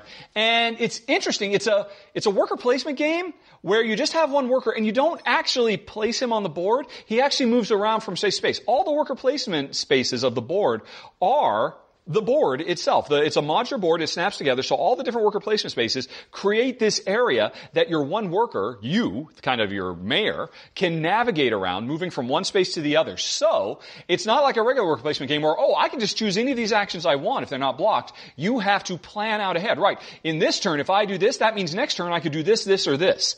That's actually a really cool idea. And you've seen similar things to it, like maybe in an Istanbul or something like that. But I think this sounds actually very, very fresh. And the other thing about the game too is this is a, their big, heavy economic euro. They've always got one every year. This one also features a series of campaign scenarios, so you can kind of get, this is a rarity for um, Euro style games, a sense of progression, this storyline that goes one after another after another Bye, honey pie. Um, yep. Alrighty. Uh, so that actually sounds really, really cool to me. My number 10, Colonist. And then we move on to the number 9, Golden Sails. This is from designer Yuri uh, Zhuravlev who kind of burst onto the scene a few years ago with Viceroy, an absolutely phenomenal game, one of the best games of that year, and you know it's since gone on to get published in America, and a lot of people love it. It's a really, really great game. This is kind of his follow-up to that. It's set in his same fantasy universe. I think the name of the universe is Tempest or something like that. But anyway, so it's, it's a fantasy setting, but at its heart, it's a very simple card drafting game where all the cards we're going for have multiple uses. You know, it could, you know, it could produce several different things. But for me to actually take the card, I just don't reach out onto the table and grab it. I have my own cards that represent experts in gems and uh, travel or whatever, whatever the different categories that all these cards provide. I have to admit, I don't know all the particulars, but um, I mean, in love with this idea. I've got these experts. If I want to grab that particular card because it's got a green gem and I want a green gem, well, I got to play my gem expert to grab that card. That means I've just given up my gem expert. I can't grab any of those other gems anymore. For any of those other cards that are still out there, I have to use a different expert and grab them to have a different function. That is so cool. Such a fresh, interesting take on card drafting where, I mean, not only do you have to pick the cards you want, but the actual um, uh, characteristic of the given card. And once you've taken that characteristic, you can't take any other cards for that same characteristic until all your experts are done. Then you call them all back. It sounds absolutely brilliant. And Viceroy was phenomenal. And so I have very, very, very high hopes for the Golden Sails as my number nine. Now, on to number eight. Four Gods. I have been waiting for this one for years, it seems like. It seems like it was first announced a couple of years ago, and I've had it on my geek list of interests for quite a while now, and I'll tell you why. This is a real-time tile laying game a competitive one, uh, where we are each gods, all you know, up to four players, up to four gods, each you know, competing to build the world as fast as they can. You know, by laying tiles out and you know, having to make sure all the tiles line up appropriately, kind of Carcassonne style. So you might say, well, that kind of sounds like maybe a galaxy trucker. Everybody's racing to build their own truck. Oh, we're just all racing to build the same, our, our, our world and have the best world, right? Uh-uh. So here's the thing. We're all racing in real time, tile to build the same world. We're all putting tiles into the same common world. So, uh, you know, as I've got this tile in my hand and it's got ocean on one side and, and continent on the other, and I'm trying to find the perfect place to put it, if I'm paying attention to you, oh look there, over on the western side of the, of the map, you put down a space that makes, gives me an opportunity to put my tile down. And you have to be careful about that. You have to be constantly thinking and paying attention, not only, because you're not, unlike Galaxy Not in your own little world, just focusing on your own little thing. You are focusing on a communal world that we, as four gods, all control and all build simultaneously. Mind blown. I am so excited about this, and I have been forever. It's from uh, Chris Bollier, or Beaulier, uh, who did Archipelago, who's done Dungeon Twister. He is a really outside the box designer. And I mean, I've been waiting for this for a long time. I cannot wait. Oh, I'm almost there. Number eight is Four Gods. Should have actually done that so it would have been my number four. That would have been smart, but I've never been accused of being smart. Let's move on to number seven, Gluck auf Das große Kartenspiel, or Coal Baron, the big card game. Um, I've already done a run through for Coal Baron or Gluck auf. I mean, you can go uh, ch- check that out. It's a wonderful worker placing game. Jen and I enjoyed it quite a bit, and it's from my favorite um, board game design duo, Kramer and Kiesling. They are now gotten together. They're revisiting the ideas, and uh, according to the description on Board Game Geek, this promises to have the spirit of Gluck auf or Coal Baron, but uh, what's it say? Uh, very distinct new gameplay, and yet just as intense. That sounds good to me. But you know, whenever you say Kramer and Kiesling get together, I'm going to be there with bells on. And so I'm really excited about this because I think this is the first time where they've ever decided to revisit a design and come up with new interesting ideas. So what does that mean? Over the years, they, they well, we're not done with Gluck auf. We've got to go back. We've got to revisit it. Let's not do an expansion. Let's do a whole new thing that gets us explore this space in new ways why isn't everybody as excited as me for our number seven, Gluck auf das Groten Kartenspiel? Number six is going to be Order of the Gilded Compass. And I'm super stoked for this because I have been the biggest fan of Alea e Octa S forever. A wonderful, wonderful dice worker placement game, long before they were cool and hip, um, from Bernd Eisenstein and Jeffrey Allers. Done a run through for it. I've been raving about it for years. But it's been out of print for years. It's been very, very difficult to find. And uh, finally, it's been reprinted. It's been completely rethemed. It's no longer set in ancient Greece. I guess it's set in kind of a uh, Indiana Jones world hopping artifact collecting kind of scenario. Honestly, I don't really care. All I care about is that great, wonderful gameplay with new ideas. Once again, this is an example of designers revisiting their baby, coming up with new and interesting ways. Because, you know, in the years since, they've designed other games, they've gotten better, so this could only be an improvement, right? We'll find out as soon as I get my hands on number six, Order of the Gilded Compass. Number five is Railroad Revolution. I've talked about them before, I'm going to talk about them again. The Zhanguo design super, super team of uh, Marco uh, Canetta and uh, Stefania Niccolini. Um, not as well known perhaps as your Stefan Felds or your Uwe Rosenbergs or your Eric Langs or whatnot, but these two are just crackerjack designers. Uh, the Dogeship was a phenomenal game. Zhanguo was absolutely amazing, as I've already talked about. Um, and now they are getting together, teaming up once more with What's Your Game to bring out uh, Railroad Revolution. Um, so What's it about? Well, I, I, guess it's a worker placement game, and the most interesting thing about it is that you, you have generic workers, uh, you know, just who will do with the action of whatever you place as you're trying to build your rail network across the continental U.S. I guess from the uh, screenshot of the board we've seen so far. But you can take the option to promote your workers and give them specialist roles. Now, I've seen that in a bunch of games, um, so that's not entirely new. But uh, knowing Marco and Stefiana or uh, Stefania, I expect really great things because, you know, what's your game? They're, they're one of the best board game publishers out there. They're easily one of my favorites. They'd be in my, my top five board game publishers of all time. They've got good instincts. Uh, Stefania and Marco have got good design shops. Zhanguo was phenomenal. That's why I'm super duper stoked for number five, Railroad Revolution. And then moving on to number four, The Great Western Trail from Alexander Pfister. I mean, this guy, this Alexander Pfister guy, I don't know how many times I'm going to talk about just how he's amazing. Uh, just over the last few years, he's had some Spiel des Jahres, Kenner Spiel des Jahres wins. He's, uh, you know, working with a lot of other designers, putting some lot of great stuff. This is a big magnum opus for him, uh, working all by himself this time. And it's basically a big, heavy, sprawling Euro, economic simulation Euro, set in the American West. That in and of itself is intriguing and exciting to me. Normally American West games are like, you know, big old shoot 'em up in your face stuff or, um, you know, kind of light party fare. It's rare to find something that's really meaty like, uh, like, uh, say Carson City. So, uh, Great Western Trail, you are cowboys trying to run your, uh, you know, your cattle into, uh, you know, your cattle herd to, to make it through. Uh, and uh, you're focusing as much on your herd as you are on your team of cowboys who have to be taken care of when we're out on the trail trying to uh, to make it. That's all I know. That's all I need to know. I'm super duper stoked. I mean, Alexander Pfister has just rocketed um, to the top of my must watch every one of his games, even the ones I didn't like because maybe they were a little too mean, like Broom Serve or something. I've been impressed by just how smart and clever they are.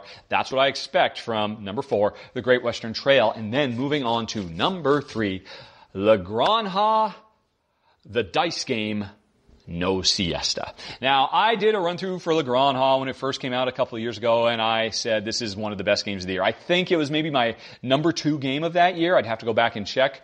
Um, number two or number three so amazing um, from, from uh, these guys who just kind of came out of nowhere um, and you know made this amazing hodgepodge Euro design that feels like the best of, of what Stefan Feld could offer. And I say that as high praise because Stefan Feld is, as always, my absolute favorite board game designer of all time. La Granja was absolutely amazing. It did so many things well, and one of the things that it did right in the middle of the game, in the middle of every round, you had this very palpable, tension-filled uh, dice draft. It worked really, really nicely. And so what have they done? They've taken that dice draft out of the full game with a million different things and built a whole game around that that still captures all the thematic beats of the full game and just becomes a smaller, quicker, easier, more digestible package.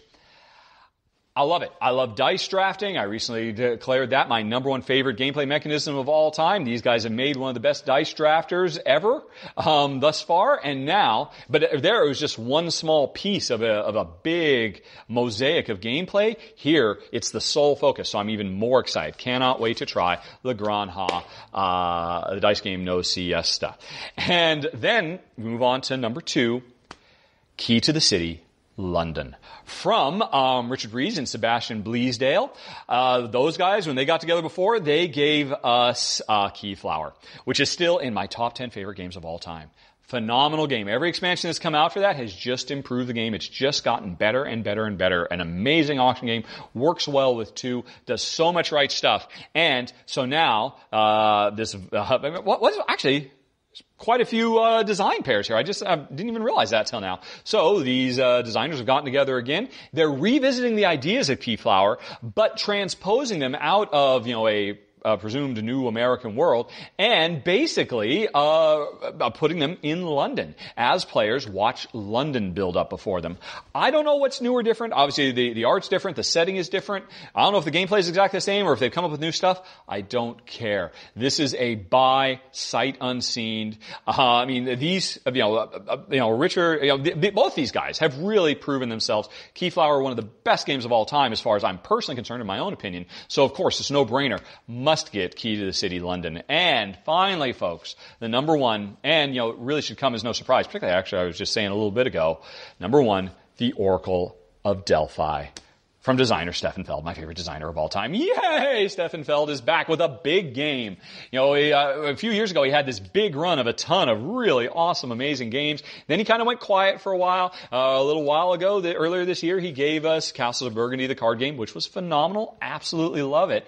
But I'm looking forward to something new and different from him because that's what I probably admire most about Stefan Feld more than anything else. He's always coming up with something new. He's always reinventing wheels, um, you know, uh, uh, bravely adopting new gameplay mechanisms. And my understanding is the same is true here. This is not a Stefan Feld point salad like a lot of people might assume it's going to be. Apparently, this is a race game um, where you are zipping as fast as you can to, uh, you know, call upon the favor of the ancient Greek gods and, you know, sail all around the Aegean.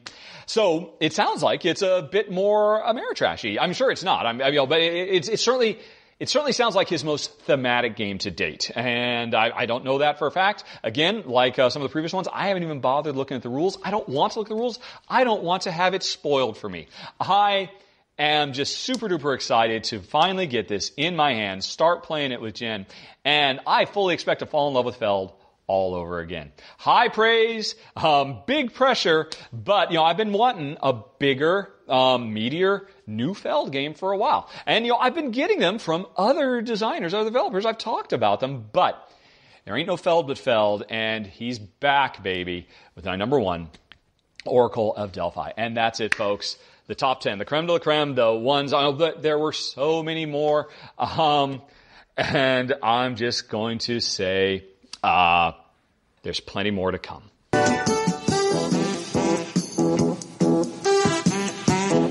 Okay, everybody. So, got the games out of the way. Now, let's talk about expansions, which, you know, by their very nature, is not going to be quite as interesting to talk about, uh, because often there's not quite as much known. They, you know, these things are all just going to take the base game that in theory you already love and add more content, maybe a few new features here or there, what have you. So I actually I didn't spend quite as much time doing research and I didn't spend any time actually trying to prioritize these or number them. Uh, so I'm just going to talk about these, what is it, 18 expansions just in alphabetical order.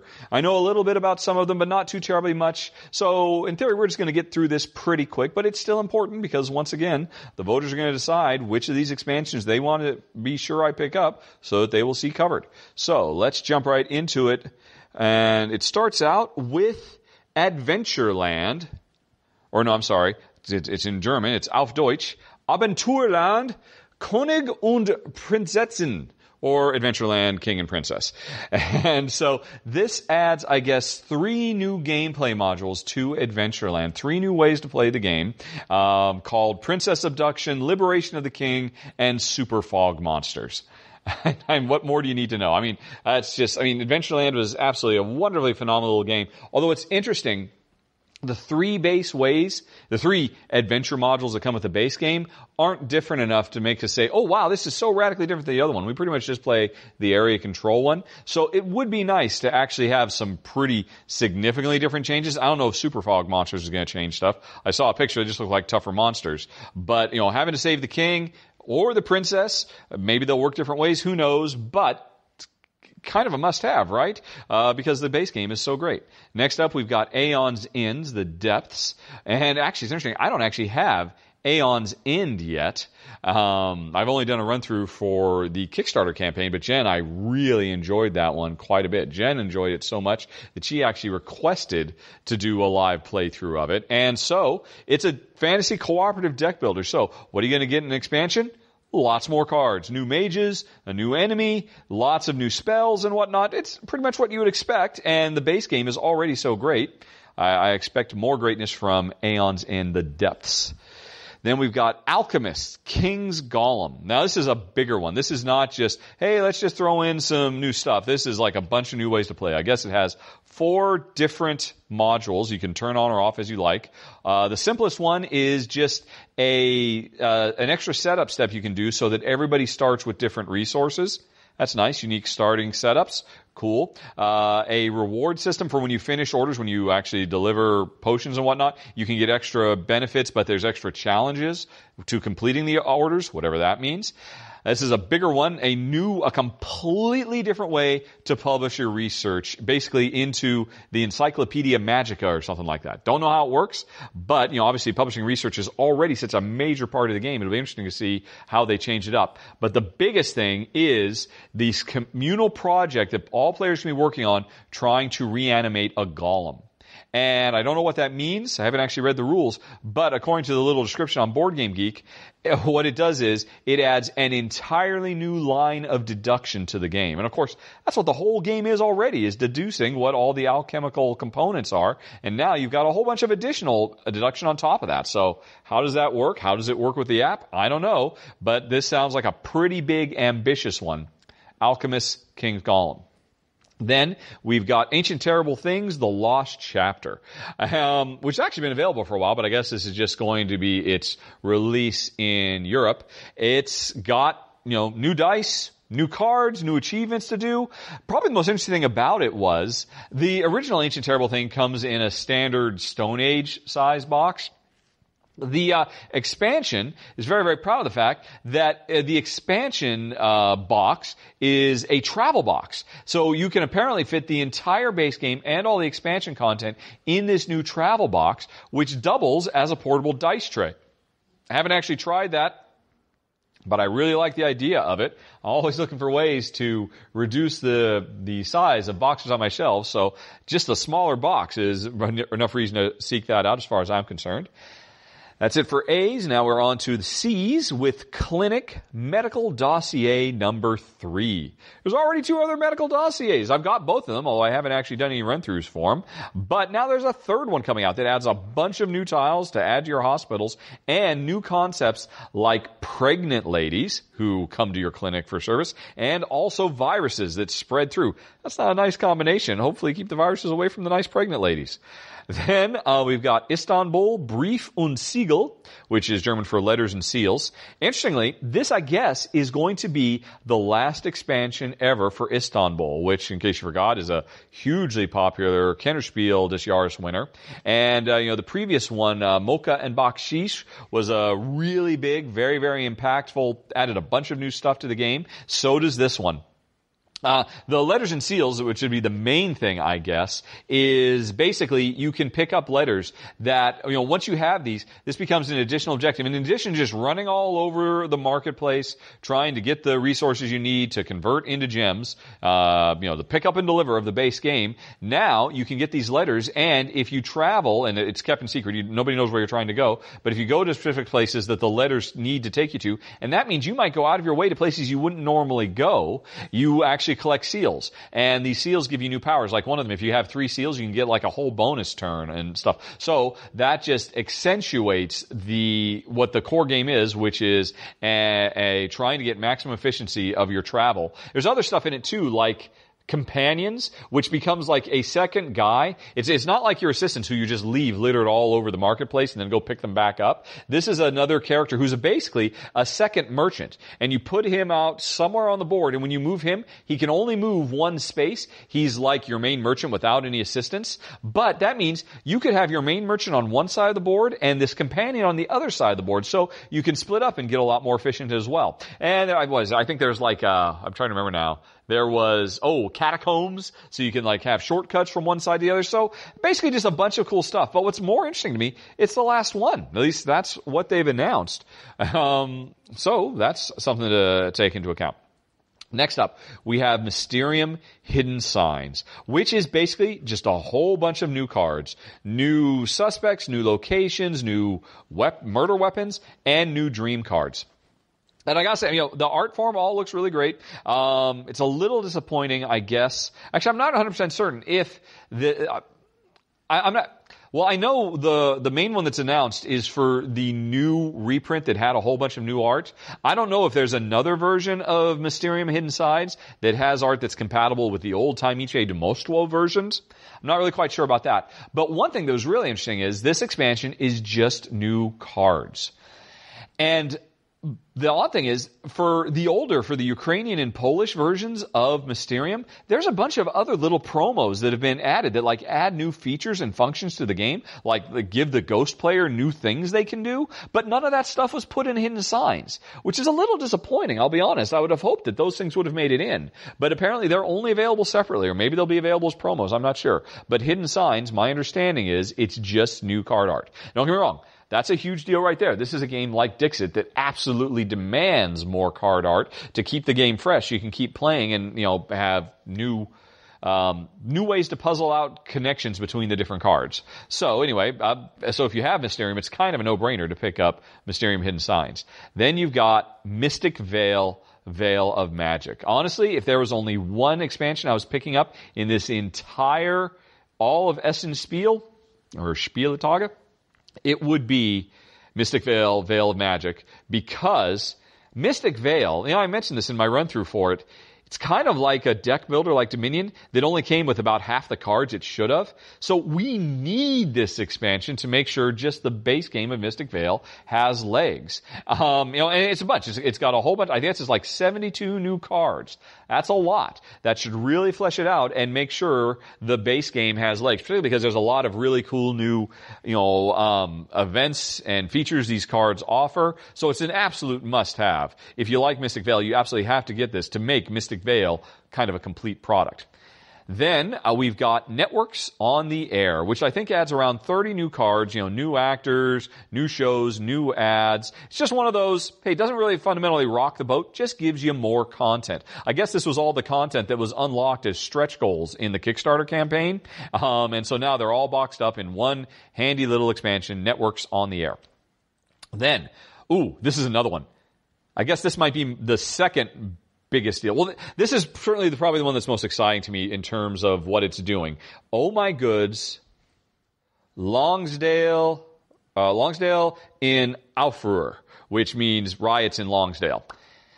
So, Oh My Goods was a really simple little push your luck engine building, you know, convert resources into points kind of game. Um, simple little card game. I've done a run through for it. Let's see. But the interesting thing here is this expansion adds kind of a, a, a, narrative campaign to that simple little economic engine building game. Now there are five chapters and you play them through five separate sessions and it tells a story of the riots of Longsdale. Um, you know, as, uh, you know, as you keep on trying to do the base portion of the game, but as you go from, you know, uh, session from chapter to chapter to chapter, the core rules of the game change to reflect the changing um, events in the city. That is so cool. Why haven't we seen that more in Euro games? You know, this this notion of I mean, you, you see campaign style play in Ameritrash games all the time.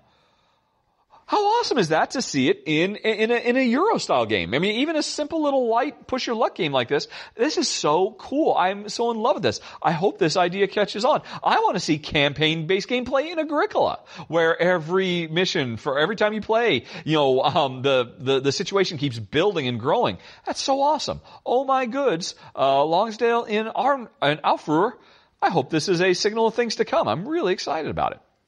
After that, we've got Orleans uh, Handel und Intrigue, which is basically, well, this is interesting. I mean, Orleans out of the box is great, and uh, you know, for for it to have legs for me and Jen, really, we had to come up with our own little player variant. I talked about that in the original run through, and the thing I've always wanted for more of Orleans, just more buildings. That's all I want. Just more buildings for more flexibility, more variety. It's like, you know, in Dominion. What do you want? You want more kingdom cards so you can get more variety every time you play, uh, you know, um, but, but they keep not doing that. Um, because in Handel and Intrigue, I think they add only three new buildings and instead they add these radically new systems. Just like Orleans Invasion added all this new stuff, but hardly any new buildings. They're doing the same thing with Handel and Intrigue. So, I mean, yeah, you get three new buildings. That's cool. But what else do you get? Well, you get contracts, which is the notion that now you, um, you know, the, the resources you pick up, you actually have a reason to travel with the traveling merchant to different cities to deliver them. They've added a pick up and deliver mechanism, basically, if you want to play with that. Um, they've added a completely different deeds board.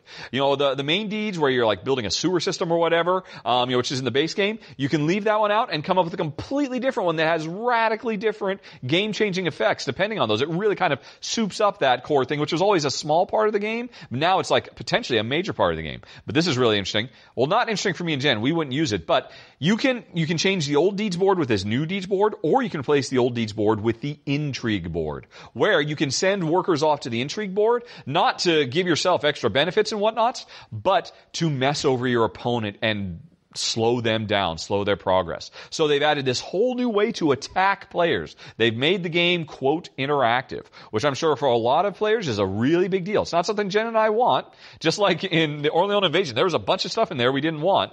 But, um, oh, and then a whole bunch, I think it's like 30 new event tiles that completely replace the events of the base game and add really big, big punishing game-changing events. So it really kind of soups up that portion of the game as well. So this is all a bunch of cool stuff, although I'm, I'm not really keen on the intrigue stuff. I'm sure a lot of people who are. Man, they still aren't just giving us more buildings. Well, I don't know. Uh, slowly but surely we're getting more buildings through the promos they release and just a few in here, but I, I still, I'm hoping the next Orleans, um, is just a bunch of new buildings. That's all I want. Okay.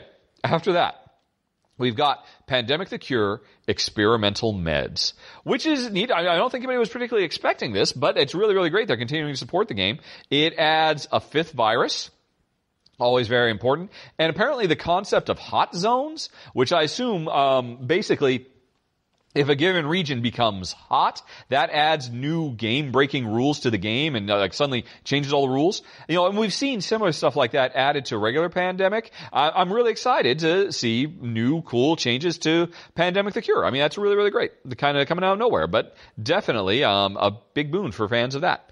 And uh, after that, we've got Peloponnese card game Patronus, which is very, very cool. I'm very excited about this. Well, actually, again, some stuff I'm excited, some stuff I'm not. They add the resources so you can add another player to the game. That's great. Uh, that was that was an important step for the evolution of regular Peloponnese. Again, something Jen and I don't need, but it's great that it's there. They've also added an additional round, so it can go one round longer, and so you can have kind of an epic length game. That was a big deal for Peloponnese, so it's great they're bringing it into the card game.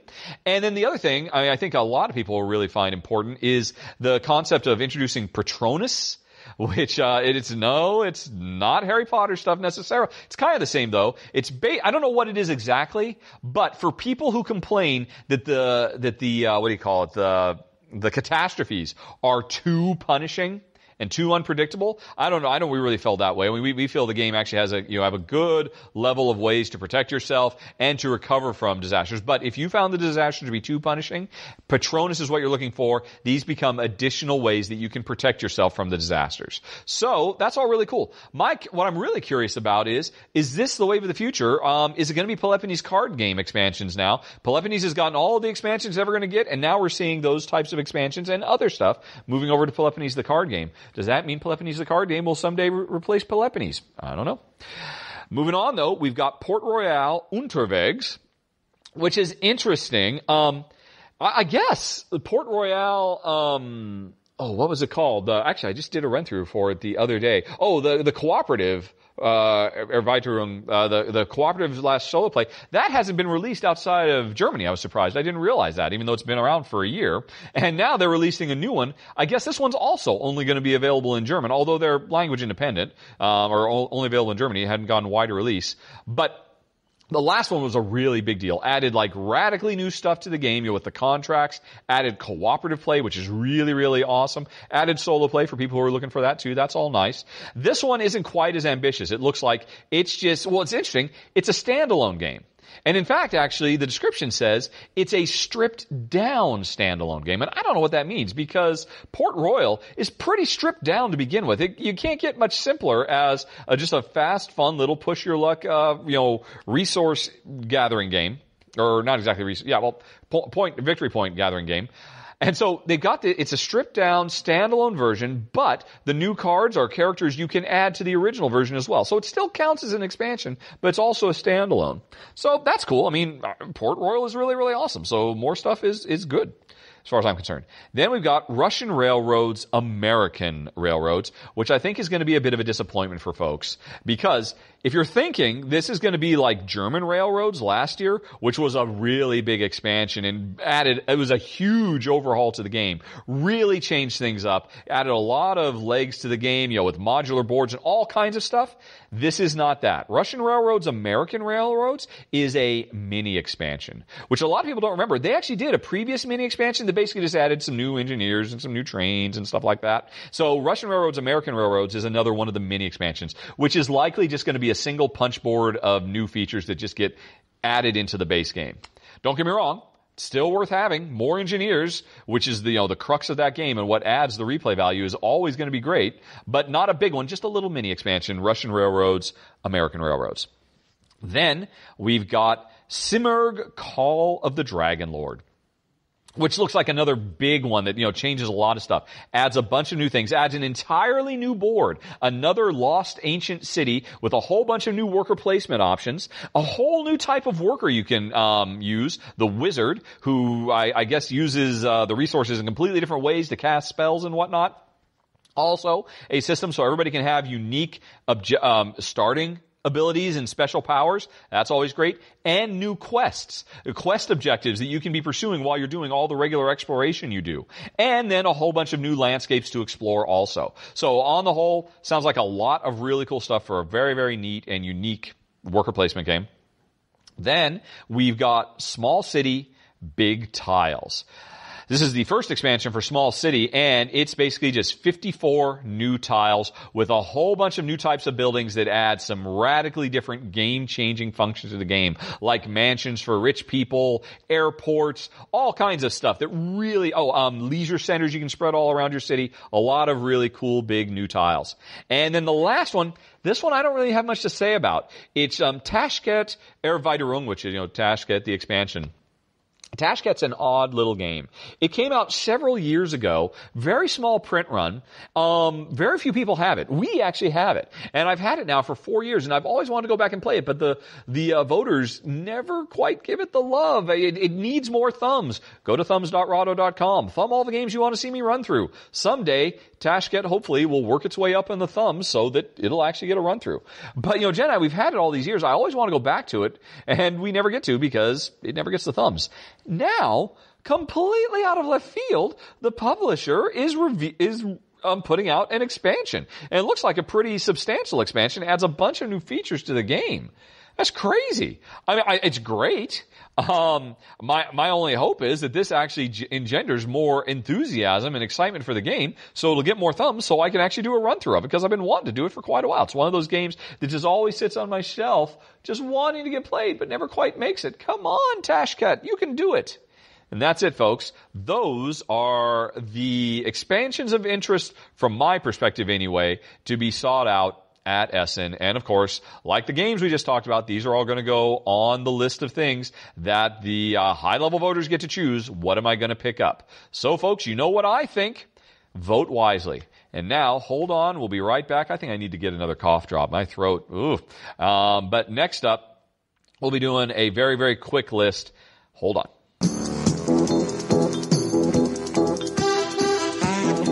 Okay, folks. So this should be quick. This should be painless. This should be pretty easy. I am now going to just do a quick listing of the 36 games debuting at Essen, according to Eric Martin's list, that I've already done run throughs for.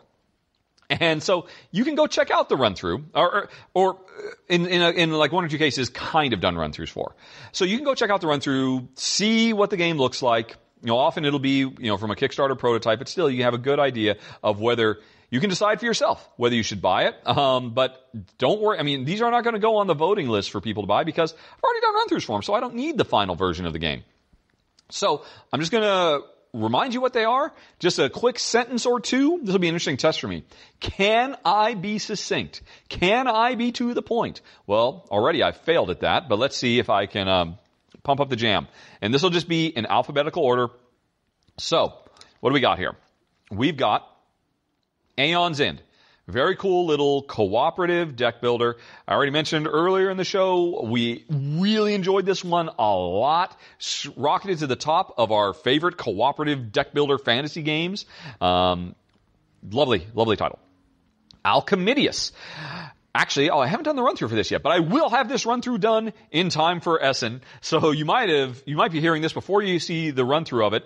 But suffice to say, neat, clever, real-time competitive alchemical equation generation game. Um, which is really kind of offbeat, but it, it delivers on that, and Jen I enjoy quite a bit, and I especially appreciate it because it forces me to address a real shortcoming I have, which is doing math in my head. And this game, you know, it'd be great for classrooms, just a really neat, clever game all around. Anachrony.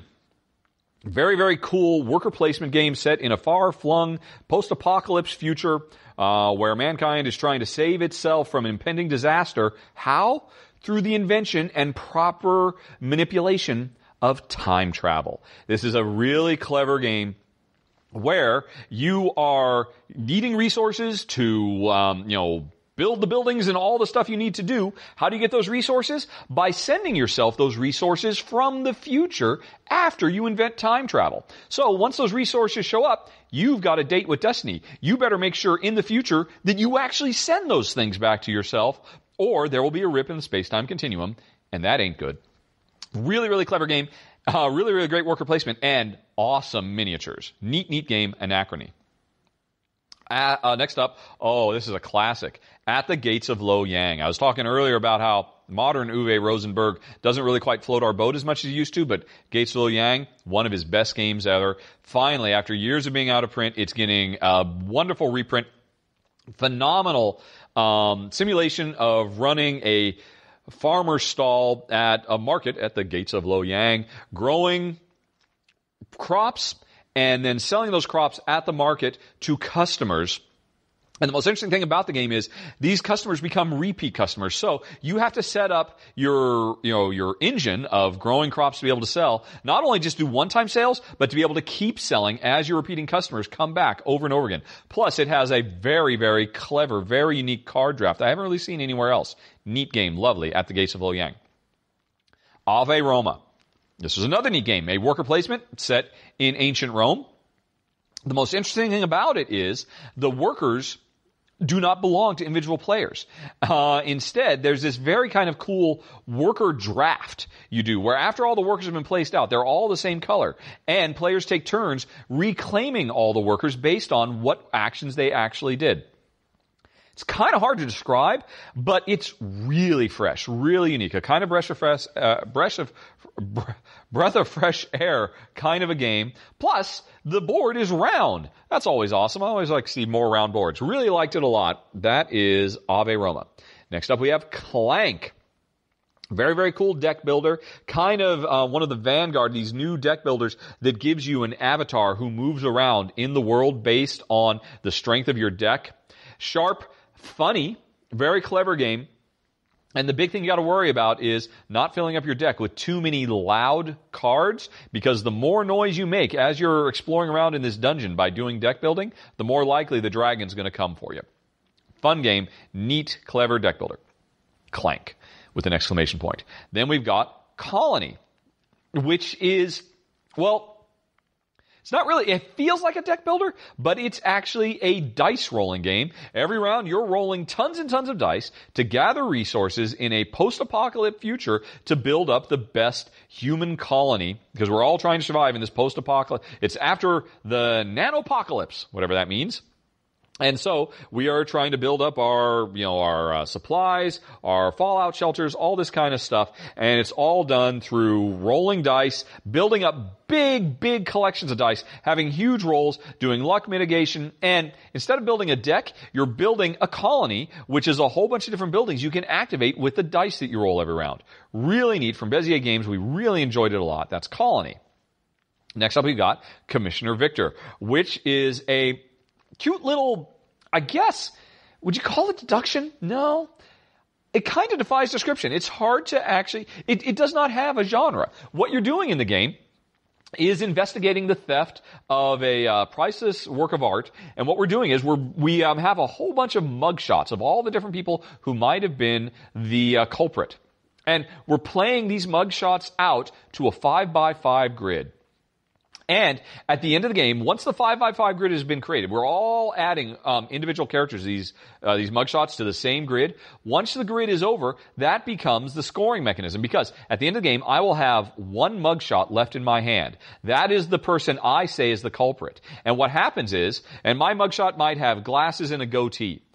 Every um, character, every face on this five by five grid of mugshots um, every row or column that is full of at least three glasses scores me points. So I am building my point scoring engine throughout the course of the game, but other players are building in the same and they're messing up my scored po- point scoring opportunities. So if I start seeing like a lot of handlebar mustaches appearing, that probably means one of my opponents wants to get a row or column full of handlebar mustaches. And then I've got a decision. Do I try to mess that up or do I switch and say, hey, you know what? I'm going to go for a suspect who has handlebar mustache as well. So you have to figure out what your opponents are doing. You're trying to build your own end goal.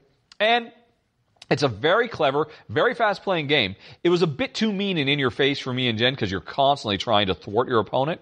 But again, really kind of far out. Plus, it has a little bonus game comes with it where you can just play Mastermind, but um, with these neat little mugshot cards. Then we've got Crisis. This was a really neat worker placement game that basically is set in kind of a Blade Runner future city, but it's actually inspired by the financial crisis in Greece. It was actually from Greek designers, and um, we are in this game cast in the role of entrepreneurs trying to um, take advantage of the economic freefall of the city to um, you know create new industries, revive failed industries, provide um, you know economic recovery. And every step of the way while we're trying to do this, we have incentives from the government who are under extreme austerity measures um, that are imposed from the outside world. And the thing is, while players are trying to compete to be the best, most successful entrepreneur, we all have to do well to a certain extent because if the entire economy collapses, everybody loses. So it's this kind of interesting semi-cooperative game that again is torn right from the headlines, but then almost kind of Star Trek style, given this future science fiction setting so it can address and examine real world problems of today. It was a very, very solid worker placement game as well. Although again, one that is very interactive. It is designed to be uh, players trying to cut each other off at the pass and slit each other's throat and um, you'll get there one step ahead and really ruin your opponent. So it was too mean for me and Jen, but a neat, neat, clever game. Then we've got Dale of Merchants 2, which is a wonderful little um, deck building game. It's kind of flying under the radar. It's really, really cool because you're trying to build up your deck to um, be the best merchant in the Dale. But you're also trying to rip your deck apart by actually building your merchant stalls. You want to add cards to your deck to get more powers, but you need to remove those cards from your deck to actually set up your merchant stalls and score points. Very, very clever. Wonderful, cute, charming, anthropomorphized, cartoony animals with a lot of different special powers. Neat. Really like it a lot. And Dale of Merchants 2 is a standalone game, but it um, also functions as an expansion for Dale of Merchants. Then we've got Days of Ire, which is really interesting. It was billed correctly as Twilight Struggle meets Pandemic. It's set in the um, real world Russian occupation of that happened back in the 50s of um, oh gosh, was it Ukraine? No, Hungary. It was Hungary. Uh, the Russian occupation of Hungary uh, back in the 50s. And, or was it 60s? Oh, I don't remember now. But it's all based on historical real world events. And the core gameplay is very much like Twilight Struggle, where one player plays as the Russians, trying to, you know, maintain an iron grip over the city, and the other player or players act as the rebellion trying to fight them off. And the thing is, the Russian player is basically playing a game that is very, very similar to Twilight Struggle. Playing cards, trying to use action points to uh, keep the rebellion under control. The Re- rebel players are basically playing something very similar to Pandemic. They are running around the city, fighting hotspots of, of Russian intervention, and um, you know collecting resources, um, you know inspiring the troops and trying to stay one step ahead. And uh, so you've got this really cool asymmetric game, and it's interesting. If you want, you can play it solo. So if you wanted, if you ever want to play Twilight Struggle as a solo game, get Days of Ire. And um, you can also play it as a purely cooperative game because it comes with rules that um, automates the Russian player's role, so all the players can just be the resistance trying to fight them off. Really clever game.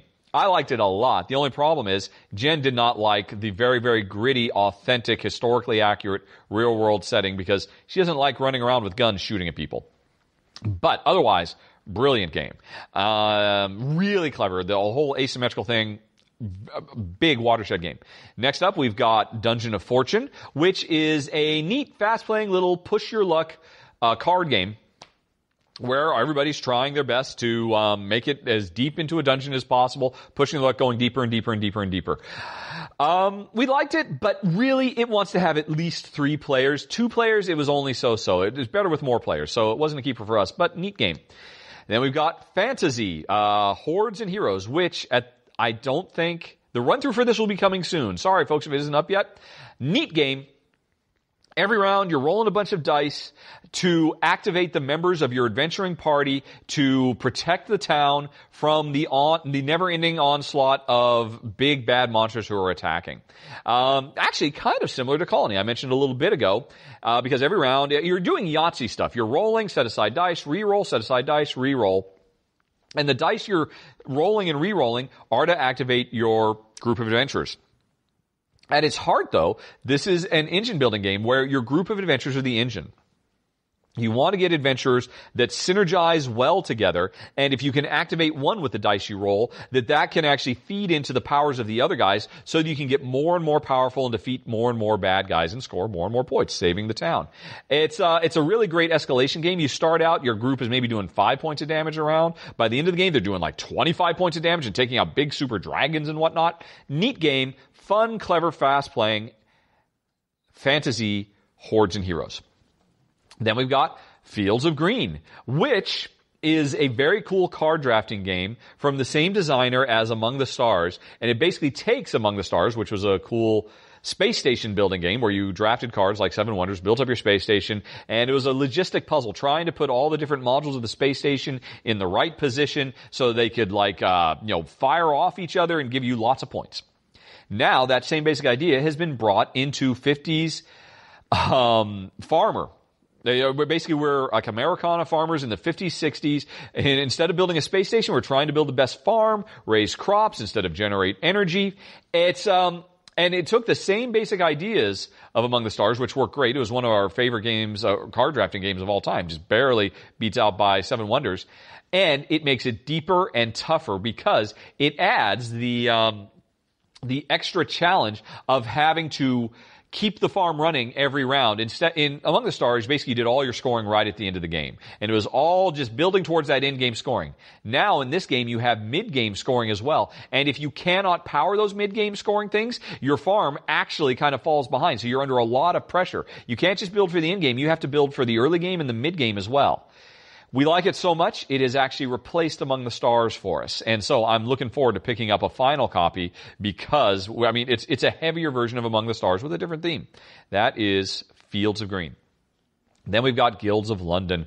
Oh, such a wonderful game. Easily one of the top 10 best games of this year easily. But it is such a mean game. It is a multi-card use game of area control. Players using the cards they've got in their hands in lots of clever combo-tastic ways to take control of all the various guilds of London and actually the colonies of London in the New World as well. Brilliant game. Just phenomenal design, but so mean. Every step of the way you're trying to undercut your opponent. I mean, we couldn't keep it, but man, we love the gameplay in Guilds of London. Then we've got Heir to the Pharaoh, a very neat two player only auction game where you are going to do what is I forget there's something like you're going to do 50 auctions over the course of the game. Every round you are auctioning to gain the favor of the different pantheon of gods in ancient Egypt uh, and using those to be able to build up the uh, tomb of the pharaoh and uh, all the obelisks that you know adorn the the countryside around it. It's full of really clever gameplay and it puts to rest, I hope forever, the notion that you can't have good two player auctions because it's a phenomenal two player game. The auctions are very, very clever. Only problem, once again, uh, for me and Jen, this is a game that's very, very in your face. It's very much, oh, I will succeed by ensuring you fail. And so it was just a little too in your face for me and Jen, but we thought it was a very clever game, Heir to the Pharaoh. Then we've got In the Name of Odin. Um, which actually got mentioned a bit earlier um, in Jen's special guest appearance. So what is it? It's a very simple, it's, it's really kind of a gateway Viking simulation where you uh, have a handful of cards. You can use in a couple different ways to recruit more Vikings you need to go on your Viking raids or to build up your little Viking village to get all the support you need to, um, you know, build the boats. You go on the Viking raids and repair the boats and get heroes to lead the raids. It's a, it's a fun, fast playing game, really sharp, great intro gateway game and uh, I look forward to seeing more. I mean, I really hope to see some expansions that give it a little bit more depth. But we've definitely enjoyed our time with In the Name of Odin. Next up, we've got Jorvik. This is the only game on this list that I've not done a run through for, but I have because Jorvik is a, another Viking game that is a retheme of Die Speicherstadt, or Die Speicherstadt is pronounced, uh, which is a very clever but cutthroat auction game from designer Stefan Feld. It's been out of print forever, and Die Spiker has been even, its expansion has been even more out of print. People have been so desperate to get it. Speicherstadt and Kaispeicher. It's finally, both of them have now been combined into one game, given a graphic overhaul, give a thematic overhaul, but it's the exact same game. Nothing has changed about the gameplay. So if you want to know about Jorvik, go back and watch my Kaispeicher run through, and you have a pretty good idea. We thought it was clever, but maybe the meanest auction game we've ever played. So it wasn't for me and Jen, but maybe it's right for you. That's Jorvik. Then we've got Kingdomino. Oh my gosh, this is another one that um, the run through is coming. Or have I done this run through yet? Oh man, in the ru- mad rush to Essen, I'm losing track of what I filmed and what I haven't, and what Paulo has actually done notes for. Um, you know, uh, but uh, um, if you haven't seen it yet, the run through for this will be coming very soon. It's a neat little game of domino drafting. Uh, instead of card drafting or dice drafting, we're drafting dominoes, and the dominoes represent different landscapes. And we're trying to build our own neat little five by five kingdom. It's a kingdom built of co- dominoes. Get it? Kingdomino. And it's a fun little trifle of a game. Uh, it wasn't super heavy. It plays really well. The the drafting is very clever, works very nicely. But I think it's going to be a bit more exciting with more people drafting. For two we enjoyed it, but if anything, it was maybe a little bit too easy because we were able to get too much of what we wanted and we were always able to succeed. Really wanted to have a little bit more challenge, and I think that would be better with more. But I still, I think a lot of people will really enjoy Kingdomino even with two. Then we've got Kodama the Tree Spirits. This is a gorgeous game, an absolutely beautiful game of uh, building a tree for the Kodama tree spirits. Uh, you've got these cards that represent the branches, and you're playing them to your tree, and you're kind of doing the set collection thing because you're trying to make your branches play off getting the same kind of icon like fireflies or special types of leaves appearing over and over and over again on the same branch. So, so you don't want to mix up and suddenly have this type of leaf appear on your branch that was devoted to fireflies. Uh, and the more points you can score, the uh, the better. But you're also building to get these Kodama tree spirits, which are like these secret objectives you have. So are you trying to build a tree that is good for this spirit? Uh, so you basically got all these different secret objectives you're trying to pursue. It's absolutely lovely. And by the time the game is over, you have built a little work of art on the table in front of you. These gorgeous, lovely looking trees. And I mean, just lovely, delightful game. Kodama, the tree spirits. Then we've got Mask of Anubis. Oh, this game is so clever, so neat. Uh, you take your smartphone, your iPhone or your Android, you put it into the Mask of Anubis, which is this little cardboard um, construction thing you build out, kind of like Google Cardboard.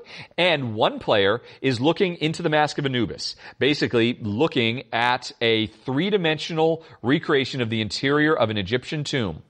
Nobody else can see what the one player sees, and the one player is trying to describe what they see. Because what you do is you make several trips into the tomb, and you show up in random spots, and whenever a player's looking around, they have to describe to everybody else, here's what I see. I see a long corridor with a, with a path that goes off to the left. There's a, uh, there, there's a sarcophagus at the end of the corridor, and a, um, you know, a, and there's a mummy walking around and stuff like that. So all the other players are trying to recreate what you're describing, and it's a communication game. After you, you only have a minute to describe and then you have to take the mask of Anubis off and hopefully they got it right. And what we're trying to do is we're trying to, because everybody has to take turns using the mask and describe to everybody else, we're trying to get an accurate depiction of the layout of this tomb maze. And if we succeed, we win. If we fail, we lose. It's, it's a brilliant game. It is so shows off the reality of what app and board game integration can be. Like no, there's no other way you could have created this experience. It's absolutely wonderful. Um, Jen, I enjoyed it quite a bit, but man, is it crazy stressful, crazy stressful. Plus with two players, I think it was a little bit too easy. You really want to have more players playing the game to increase the difficulty a bit. But either way, check out the run through for it. It's absolutely amazing. Um, Mask of Anubis, and it's going to sell out fast. Mask of Anubis. Then we've got Morocco, which is a neat little area control game all about a uh, players trying to set up stalls in a Moroccan traders market, and um, is is pretty cool, but really not that great as a two player game. You want to have three or four players so that um, you know all the spacers are being grabbed by lots of players. It became a little bit too zero sum in two player, but we liked it. It was a very clever system you used for actually claiming land in this big land grab um, it was neat. It was solid, but not great for two. That's Morocco. Then we've got Mystic Vale, which I already talked about when I was doing the expansions. Oh my gosh, what a brilliant game. A deck builder where instead of building your deck, you're building the cards that are inside your deck. Um, uh, rare for me to say this, but it is literally a technological breakthrough, a wonderful gimmick. Uh, the only problem with the base game, it was just missing a little bit of the content. That's why I mentioned earlier, I'm so excited for its expansion to come out because now it will be a truly whole game. Um, but still, you can check out my run through to see what it's about. Mystic Vale. Then we've got Myth. Oh, man, this is another one that you may not have seen the run through, but you'll be seeing it shortly. Charming, clever little push your luck game. Um, the maybe the coolest thing about the game is the components. The board itself is a pop-up board, just like pop-up books of your childhood. Why haven't more people done this? It's so brilliant. It's so clever. The game itself is neat, but like many push your luck games, it's really kind of a little rote as only a two player game. You need to have more players on the race, everybody racing to get the mystic cheese, um, and, you know, and defeat the dragon. With only two players, it, the hopscotch wasn't quite as exciting. With more players, I could see it being a lot of fun. That's called Myth, which is spelled funny. M-Y-T-H-E. It, it's like Mythy. It looks like Mythy, but it's Myth because you're little hero mice trying to defeat the dragon and get the cheese. Oh man, folks, this is taking forever. I promise it'd be quick. Let's let's uh, pump out the jam. Uh, or bump up the jam. Oh, I can't remember my night. I, I, I am back, stay on target. Oceanos is a cool card drafting game where players have their own little steampunk submarines, and they're basically just going on an underseas holiday trying to see all the pretty fish and the pretty coral they can see through card drafting. And the card drafting is um, equally focused on trying to build up your submarine in different ways, getting different special powers, and trying to do this kind of set collection of getting the right corals, getting the right fish, um, you know, and, and, getting the right uh, energy so you can power up your sub. Really neat, fun, fast, and surprisingly tense. This seems like a really simple game, but we were surprised the depths of it, the hidden depths, one might say, of uh, Oceanos.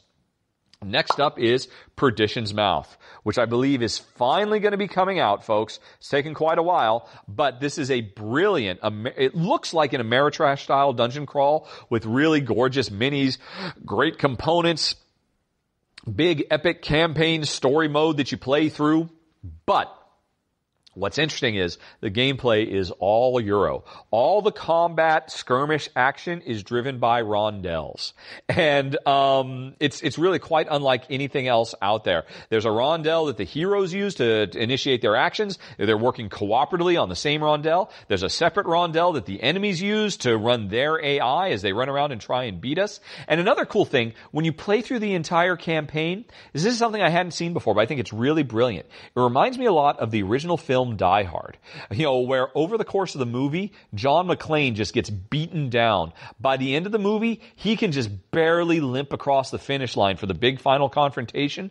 That's the way this game works. You start out powerful, unbeatable as you work your way through this dungeon, but through the campaign, you suffer losses, you get beaten down, uh, you know, the, the horror. This is a, uh, it's almost a survivor horror game, but a horror game, but it's set in a fantasy milieu. It just, you know, it becomes oppressive as, you know, your, as your teammates die and your other ones get, um, you know, constantly debilitated through a deck building mechanism. Did I mention there's also deck building in addition to the rondels? It's a brilliant, innovative, um, you know, it really turns all the conceits of of Ameritrash style dungeon crawl on their head, creates really great storytelling. The only problem is it is very grim. It is a very dark, harrowing uh, adventure, and it was just a little bit too dark for Jen because otherwise I think it would been, be something we would definitely seek out. But if you like that kind of like really grim horror fantasy setting, um, and you're looking for really clever, out of the box, innovative gameplay, you might want to check out Perdition's Mouth. Moving on, we've got the Perfumer. Yet another game my run through hasn't come for yet, but it'll be coming very shortly, I promise. This is an interesting game. It is super featherweight light pick up and deliver. It is 100% a gateway style game where players uh, take on the role of perfumers traveling around the world, gathering ingredients to make the best perfume. The pickup and deliver is so so. If you like pickup and deliver, you'll probably like this. If, or I should say, very lightweight pickup and deliver. The interesting thing about this game is in addition to we pick up and deliver, we are, there's also a component of the olfactory. We get these swatches, scratch and sniff swatches that we have as we travel the world. We are also trying to identify specific scents. And if we can, we can score a lot of bonus points. But there's this whole thing that even if your sense of smell is terrible, you can kind of piggyback off of the scent of other players and pay attention to what they're doing. And then if they're right, you can gamble that they'll be right and hope that you, um, um, your estimates are wrong. But if you think they're wrong, you can go a different way. It's a clever game, way too light. Jen and I, we don't like pick up and deliver, and even still, I mean this. I mean this is lighter than Ticket to Ride. This is the lightest of lightweight games. But if you're looking for a super light gateway and you're interested in the idea of beautiful smelling gameplay on top of that, you might want to check out Perfumer. Next up is Rattle Battle Grab the Loot Angry Ocean, a lovely, charming little blister pack of expansion content for Rattle Battle Grab the Loot. I was a bit bummed to find it didn't really solve any of the quote problems. Not that Jen and I think there are problems. It won't make you like Rattle Battle Grab the Loot if you didn't. But if you did like Rattle Battle Grab the Loot, you gotta get this expansion. It's great. Adds a lot of humor, lots of clever new features. Next up, Roll for the Galaxy Ambition. I'm surprised this is on the list, but I guess it's finally getting released in, in Europe in languages other than English. So that's worth mentioning. And Roll for the Galaxy is in Jen's top 10 favorite games of all time. Uh, Ambition is an amazing expansion. It's simply must have. That's all there is to say. Uh, then Roundhouse. Ooh. Uh, this one, I'm running out of time. I have a, no, I'm gonna get this done. This is another one. I have, mm, I haven't played this one yet. Um, but the interesting thing about it to me is it is from the designers of Burano. And that was a very, very cool, clever, heavy Euro game that came out, was it last year? I think it was last year at Essen, and it reminded me a lot of a Stefan Feld style game. Those designers have now come back. This is their second big heavy Euro game. Will it remind me of a Stefan Feld game again? I don't know. I'm running out of time. I need to get my prototype played and filmed. Oh, I'm running out of time. Um, the crux of it is, in case you haven't done the run through by the time you listen to this, um, it's based on this. Uh, was it Chinese? The, these uh, there's this one province of ancient China where they uh, build these big, gigantic houses that are basically an entire village inside one big house, like a big apartment complex, but it's a whole village, and they're round. And I don't know what the gameplay is like, but I didn't know about this historical feature of ancient China. I'm looking forward to learning more. I'm looking forward to seeing if the designers of Burano are one-trick ponies, or if they've come up with another great, brilliant uh, gameplay design for Roundhouse. Watch my run through coming soon. Schotten Totten is a remake of Battleline, or a retheming, a reimplementation of Battleline, which is a retheming of Schotten Totten. Neat little two player face off on the opposite side of a line trying to do area control, outplay your opponents. I've done the run through. Neat game, clever game. One of those games that Jen loves and I hate because it just makes me feel stupid. It's so clever from designer Reiner Knizia. Uh, it's back for the first time ever with a really brilliant, lovely production that it totally deserves. Schotten Totten. Squirrel Rush is a neat little family friendly gateway game. It was too light for me and Jen, but so clever. If we had kids, kids, it would be a total keeper as cute little squirrels run around trying to collect nuts for winter in a constantly changing, evolving board. Neat, clever gameplay, great for families. Squirrel Rush. That's it, folks. I'm speeding up now. I'm in the home stretch. Next up, the networks. Wonderful game. Uh, we did the run through of the prototype last year. If it hasn't changed much, this might make it into our top 10 games of the year if we end up getting a copy of it. I really hope to because I want to see that expansion as well that I already talked about earlier. What is it? We're running our own TV network, trying to put the right shows on in the right time um, slots with the right directors and right actors and right writers and right ads to score the right amount of points. Brilliant game. Absolutely love it to death. The networks. Tramways. A very neat fresh original deck builder where um, we are building a deck to be able to build a network of, of trams in a city. Oh, there is so much clever original gameplay that went into this. It's very unique, very fresh. I really can't do it justice in a quick summary. Go check out my run through, but it's absolutely, it's just the bee's knees. Such a smart design, tramways. Also, we have Vinhos Deluxe Edition, which is an excellent updated addition to Vinhos. Um, I know not everybody's really excited about because they maybe don't necessarily like the new graphic design and layout. Uh, but Jen and I, we think it's totally fine, and we certainly like all the new gameplay options that are available. So uh, check out my original run through or the updated run through so you can see what the differences are, and if you might want to seek this out. Spoiler alert, it's excellent. It always has been. It's one of Vital Lacerda's finest games ever. Almost there, folks. Two more. Virus. This is a real-time cooperative dungeon crawl. It's set after a virus zombie apocalypse has all but wiped out humanity, we are on a mission. We've been sent to the military compound where the original zombie virus was developed. We got to get in there and find the cure. But of course, there's zombies chasing us. Standard stuff. Here's what's unique about this. Uh, we trace, we race through the dungeon, which is this underground military fortress, in real time with the zombies chasing us in real time. That's very, very cool. But you've seen that maybe in stuff like, uh, you know, Escape Curse of the Temple and Escape Zombie City. What's interesting about this game is, oh man, oh I can't. I, uh, that, well, okay, there's a lot that's interesting about it, but the, I mean, in games like Escape Zombie City or, or what have you, you're really at the uh, at the whim of luck. The tiles you draw as you're, um, you know, just trying to explore around in this game luck goes away entirely. You know exactly, you, you don't, it's not random luck what you draw. You know the exact pieces of the dungeon you've got. And players are in real time strategically trying to come up with the smartest d- dungeon design as possible so that they can outwit the zombies, set traps for them, stay one step ahead from it as they continually spawn and put more and more pressure. Man, I'm really not doing it justice. It's an incredibly brilliant, fresh, original design, unlike anything else out there. I've made it sound kind of like a repeat, but it's really not.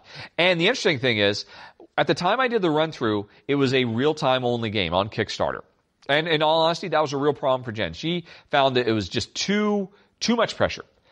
The developer heard the feedback from folks who wanted to play the game because they were really enamored of all the clever, fresh gameplay mechanisms, but weren't excited about real time. He went back to the drawing board. He came up with rules now that allow you to play it turn based. I cannot wait to try it as a turn-based game. I believe that will solve all of Jen's problems, and it becomes a, a you know, a, it, it, becomes the best of both worlds. A game that works well for turn-based fans and a, one that works well for real-time fans. Either way, like Perdition's Mouth Uh, which I mentioned earlier, a very fresh, clever take. Just full, I mean, this game has so many gameplay mechanisms I've never seen before. It's got like five games worth of gameplay mechanisms all in one game. Really smart virus. And the last one on the list, folks, is why, because we're at the end of the list, there's no Z's, why for Yokohama, which is a very neat um, economic Euro resource gathering, converting into points style game. The crux of what makes it special is it's kind of like the reverse Istanbul. I talked about Istanbul a bit um, earlier. If you've ever played Istanbul, that's a game where um, as you travel around the board, your character moves around the board to get items to, to basically score points, and he leaves behind a trail. In this game, you build the trail first before you start moving around the board. It's kind of, I guess, uh, I never thought about it. It's, it's a route building game where you are sending your assistants to all the different spots in Yokohama so that when you, the manager, eventually get to those spots, you'll be able to have big, powerful turns and collect a lot of stuff. But, um, this is a very tight board and there are other people moving around and as other people move around, they become blockers for you and you thought, well, I've spent all my time getting my assistants to the right spot, but I can't go there now because it's blocked off for me. What do I do instead? Do I go somewhere else? It's a very clever game from the designer of Trains, um, and got picked up by Tasty Minstrel Games, so it's getting a big deluxe. Although I don't know if the version that's um, going to appear at Essen is the deluxe version or not. If it is, that's going to be in very limited supply and it'll never be available again. So seek that out. The same way the deluxe version of Orleans had incredibly limited supply and can never be gotten again. Whether it's deluxe or regular though, doesn't matter. It's brilliant gameplay, a lot of fun. Jen I enjoyed it a lot. That is Yokohama. Wow, folks. What happened to the, oh, I'll just say a sentence or two each time? That took a bit longer than I thought. Not surprising, really. But, oh, the lights at the end of the tunnel. One more to go. Next up is the games that you cannot buy, but you can certainly demo. I'll tell you which ones I'm excited about and why right after this.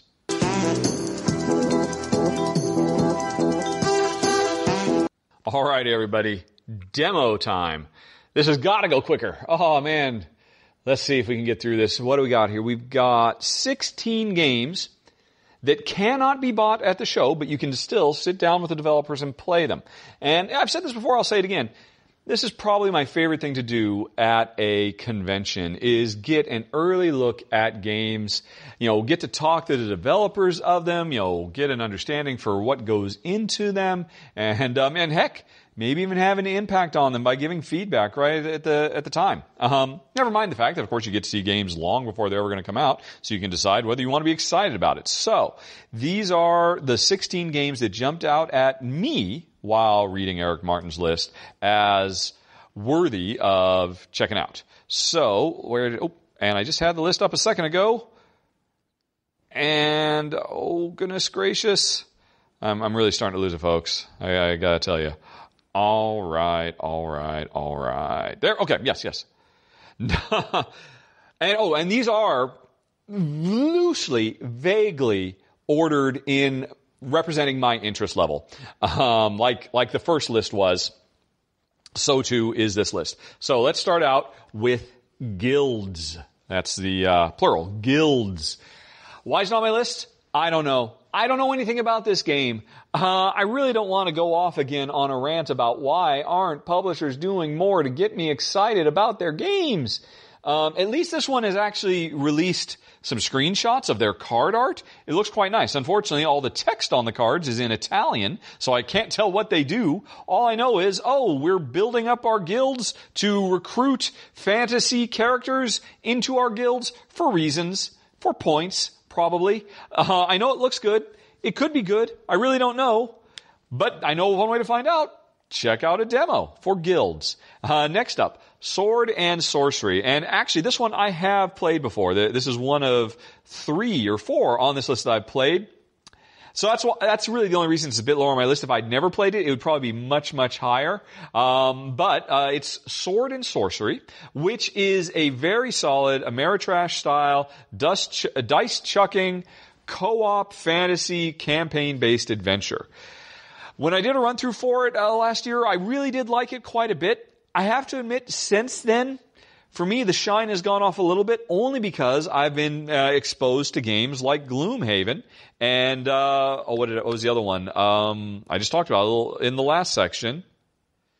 Why can't I remember the name now? Oh, because I've just completely lost the plot. Perdition's Mouth. Perdition's Mouth and Gloomhaven, which are both brilliantly designed big, rollicking campaign fantasy cooperative adventures, but those ones have Euro game driven mechanisms. This one is much more unabashedly Ameritrash. It is all about chucking dice and more dice and more dice and more dice. Specialty dice for attacking and enemies and all of that stuff. Now don't get me wrong, it does it really, really well. And Jen and I did enjoy it. And I think what I enjoyed the most about it was the fact that it takes a lot of its gameplay mecha- or structure from RPG video games like EverQuest or World of Warcraft. I thought that was actually really cool, and it did may give it a different feel than your Descents and your Mice and Mystics and all the other ones out there. So I definitely still say it's worth checking out. That what is that again? Sword and sorcery. Uh, after that, we've got Dungeon Hero Manager. This is another one where once again there's literally no information available about the gameplay. So why did I list it? I have to admit, I'm intrigued by the topic, which it, it basically seems, well, I'm a hero manager. I'm not the hero. I'm somebody, I'm a smart enough businessman to hire a bunch of rubes to have them go plunder the dungeon and bring me back the treasure. And I don't care if they die. Uh, from the, from the thematic description of it, it almost sounds like, well, and from the title itself, uh, this is a game where, yeah, um, you know, the life of a hero is cheap, and it's more about me making strategic choices about when to sacrifice this so the other one can live, so I can get the treasure out. Maybe I don't really know. I, I, I gotta admit, I just like the title, Dungeon Hero Manager. That kind of grabbed my attention. So, um, it might be higher if they would have told me something about the gameplay, but I'm still intrigued. After that, actually, this entry uh, stands in for uh, several different games that you'd be able to check out early pre-release versions of at the Ludi Creations booth. I actually chose Iunu or Inu, I-U-N-U, which sounds like it's been a, uh, print, a popular print and play game for quite a while, and so they picked it up for full on development and production. And the game itself, it's a card game where, as you know, ancient Egyptian leaders, we are focusing equally on trying to provide for our people to improve their life both in this world and the next. We are playing these cards to uh, you know improve their mortal lives and their their their eternal lives. Uh, you know after they move on. I don't know how it works, but I have to admit I'm very intrigued by that. That sounds really cool. But really, the main thing is pretty much everything LudiCreations done is always interesting and offbeat and quirky. So, I mean, if you're over there for a Nunu, check out Long Live the Queen or uh, Mr. Cabbage Head's Garden or um, They Who Were Eight. Uh, or no, no, They Who Were Eight you could actually buy. But, you know, I mean, LudiCreations has a few different games. All of them sound very, very quirky either because of the gameplay or because of the setting or both.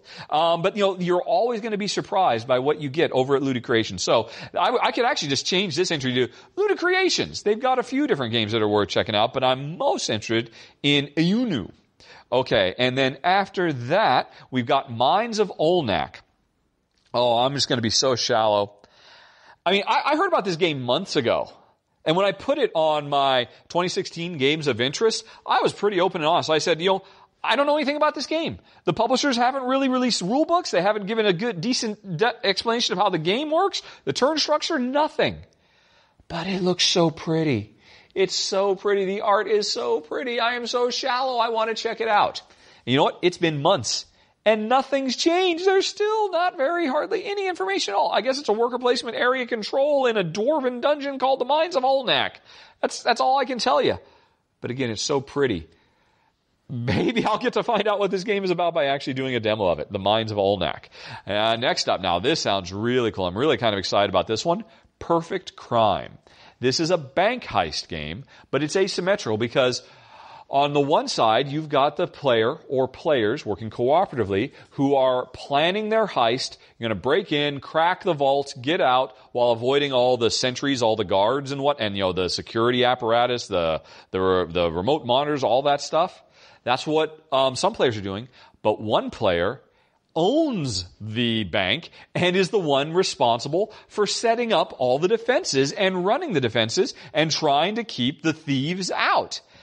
That's so cool. What an awesome, cool, asymmetrical idea for a game. I'm really excited about this. I hope it lives up to its promise because what a great idea. One player is building the maze, the map that the other players are going to explore, setting up the traps, etc., etc. Should be really cool. Perfect crime.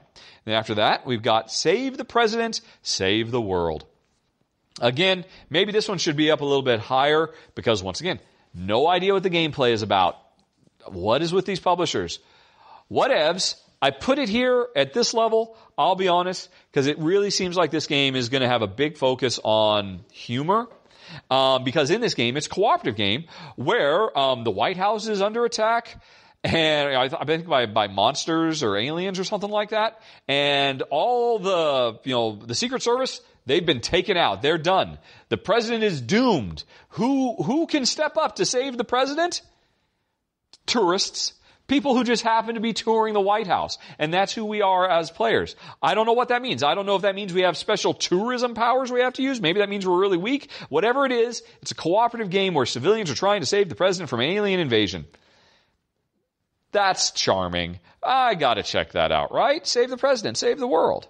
After that, we've got museum. Now this is a game, this is a Euro style simulation of running a museum, trying to um, you know, get the right artifacts uh, to attract the right people to come and visit so you can you know and, and, lay out your museum correctly.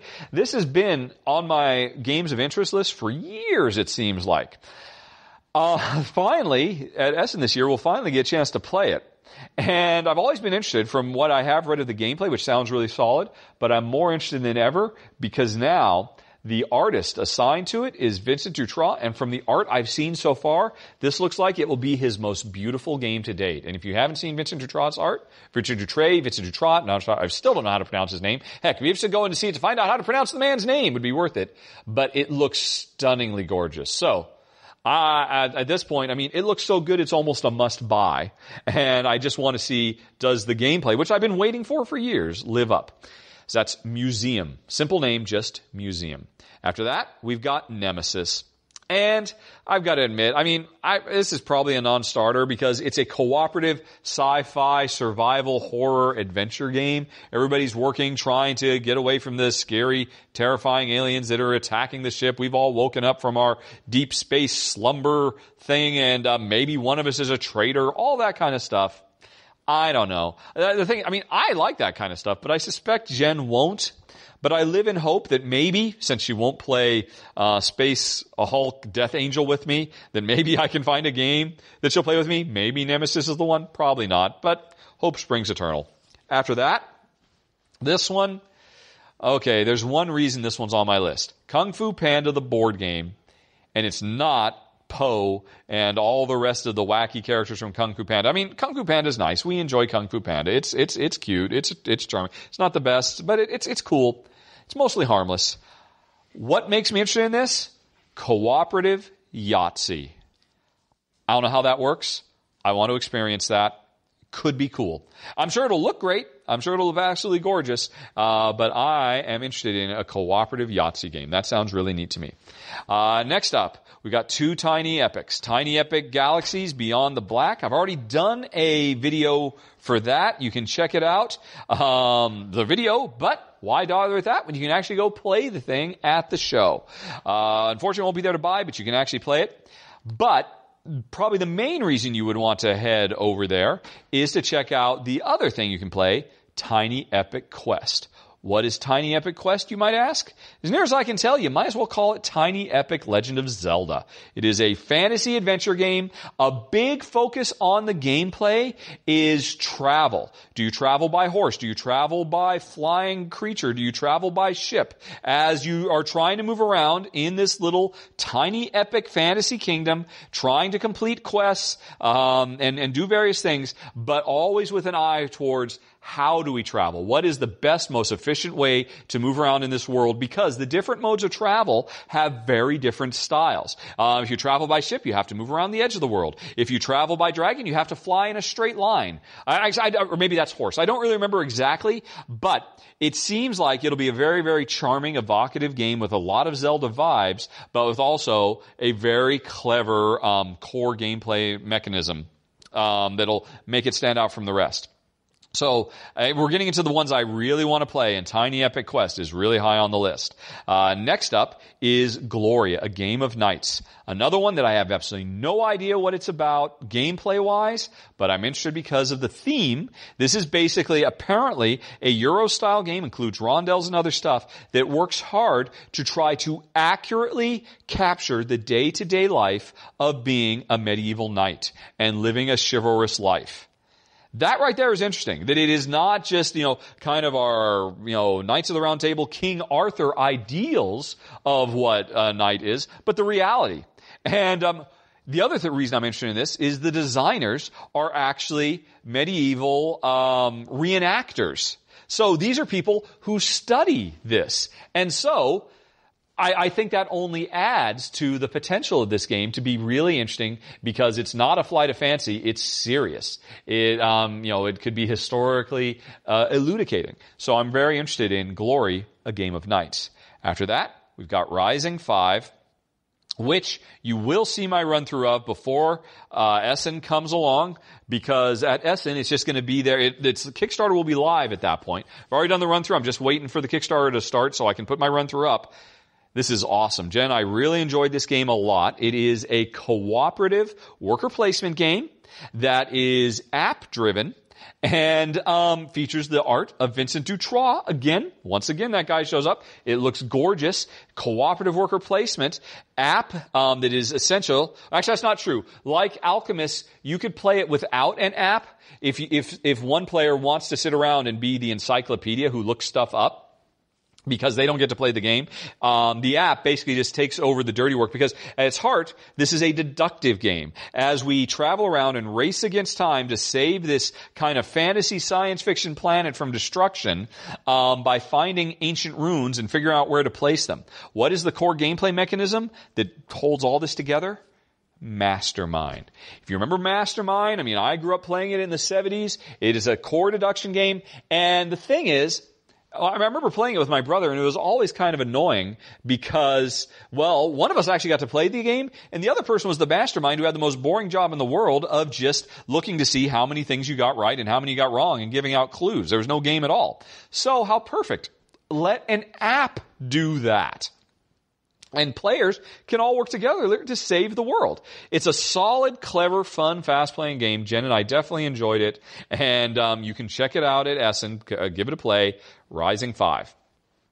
After that, we've got Edge of Humanity.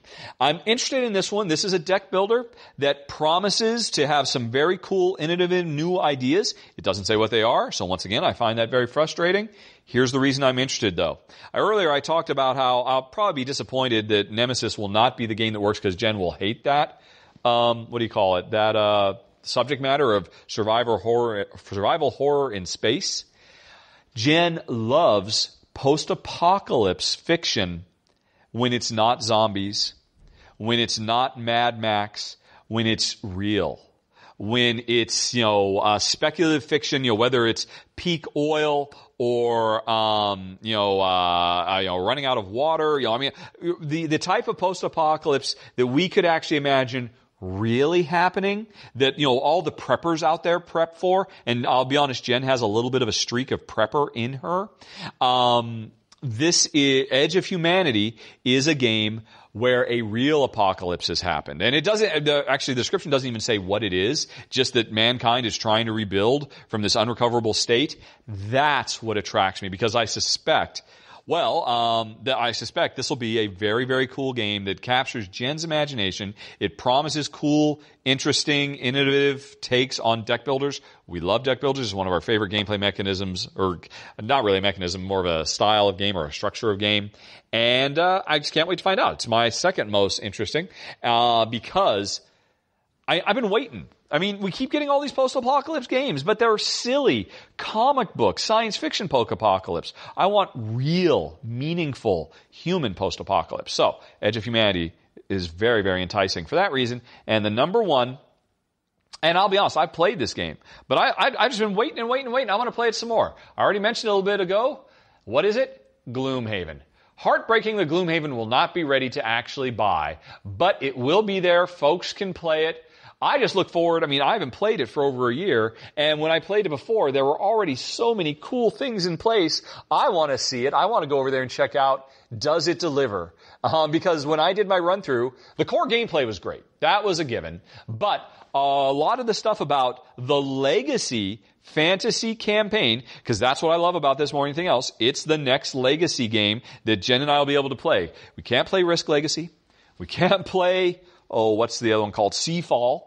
Uh, because we don't have three players and we don't want to attack each other. We loved Pandemic Legacy. Pandemic Legacy 2 isn't going to be out for a while. What do we have in the meantime? Gloomhaven. A big, epic fantasy adventure cooperative game with brilliant Euro style game mechanisms instead of Ameritrash dice rolling and epic legacy storytelling where the choices we make permanently change the world with stickers and all the rest of it.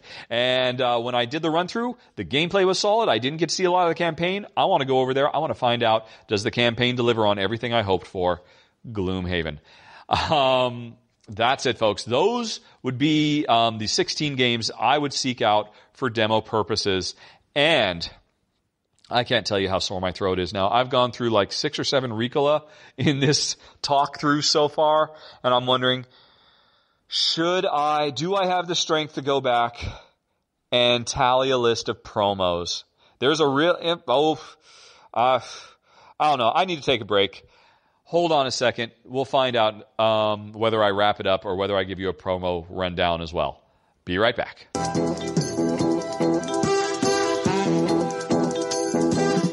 Okay, folks, we've come this far.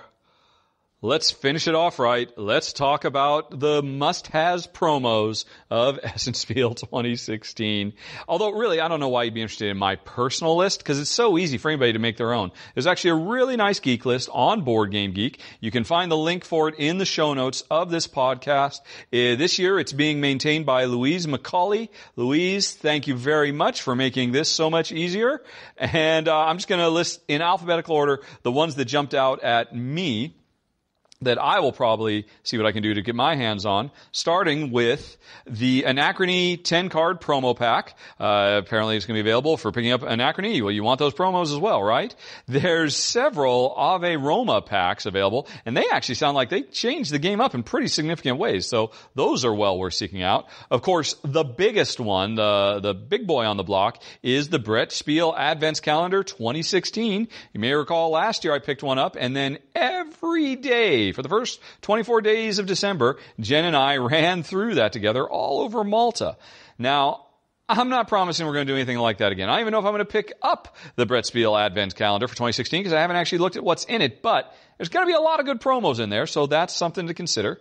Then you've got um, some picture promo tiles for Codenames Pictures. You've got the uh, promo pack for Colony, which I definitely want to pick up because my review copy of Colony does not have any promo cards, so I got to get the full set. Uh, Dale of Merchants 2, when you pick that up, you'd also want to pick up the promo, the uh, Systemic Eurasian Beavers, of course, because why wouldn't one? Then, oh, oh, and this is interesting. In addition to the Brett Spiel Advents calendar, uh, the same guy who's done that the last year and this year is also doing the Deutscher Spielpreise 2016 goodie box, which is another box. Uh, and that's really interesting. Oh, I also forgot to mention the Advent calendar last year was a problem for a lot of people because it was this big, gigantic box that was very, very hard for people to take back home on the plane.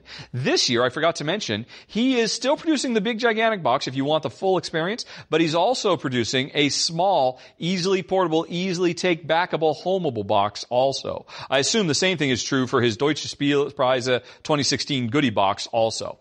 There's a new Dominion card called Sauna, Fields of Green, the Crop Circle, um, Goons of New York, which is for New York 1901. I'm really interested in that because ultimately, after Jen and I played New York 1901 some more, we still liked it, but it's just so light. We just couldn't justify keeping it around. But Goons of New York actually sounds like it adds some very interesting special powers.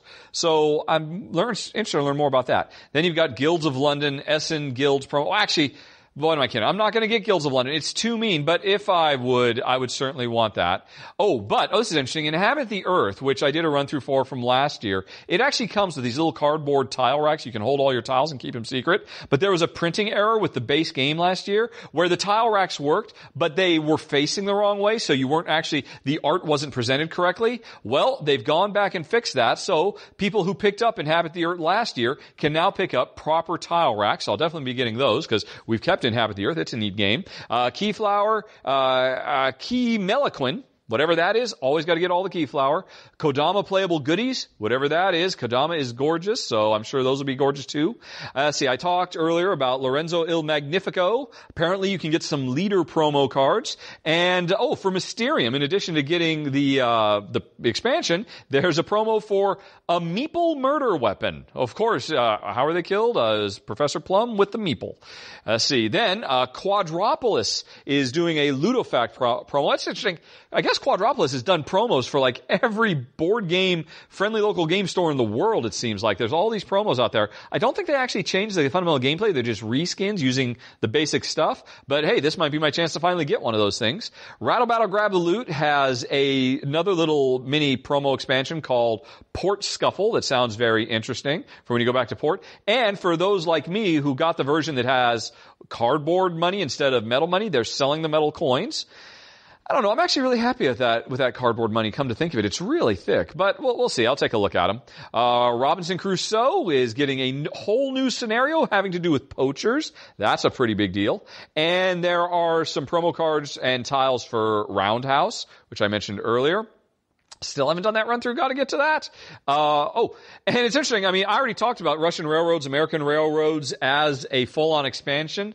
But yeah, you know what? I, I think Louise is right. Strictly speaking, it is a promo. It's just this one uh, punch out board, so it's probably worth mentioning here. And uh, this, let's see, what else do I got? Oh, Snowdonia season promo, and I wrote down Singe game card. Why did I write that down? I've totally forgotten what that was.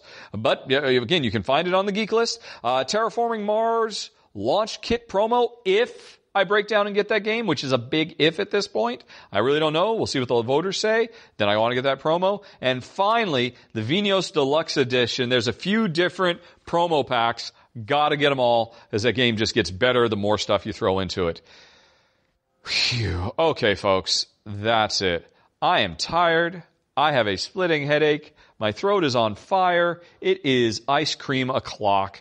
And then I think we're going to watch some Star Trek or something.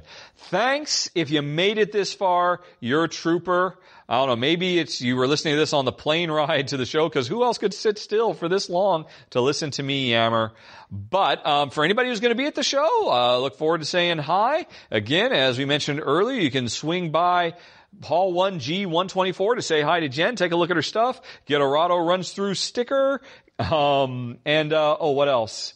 Uh, get some cool raw or you know some cool gamer glass, and as all the drawing. Oh, and enter the drawing. Yes, of course. The enter. How could I forget the entering of the drawing?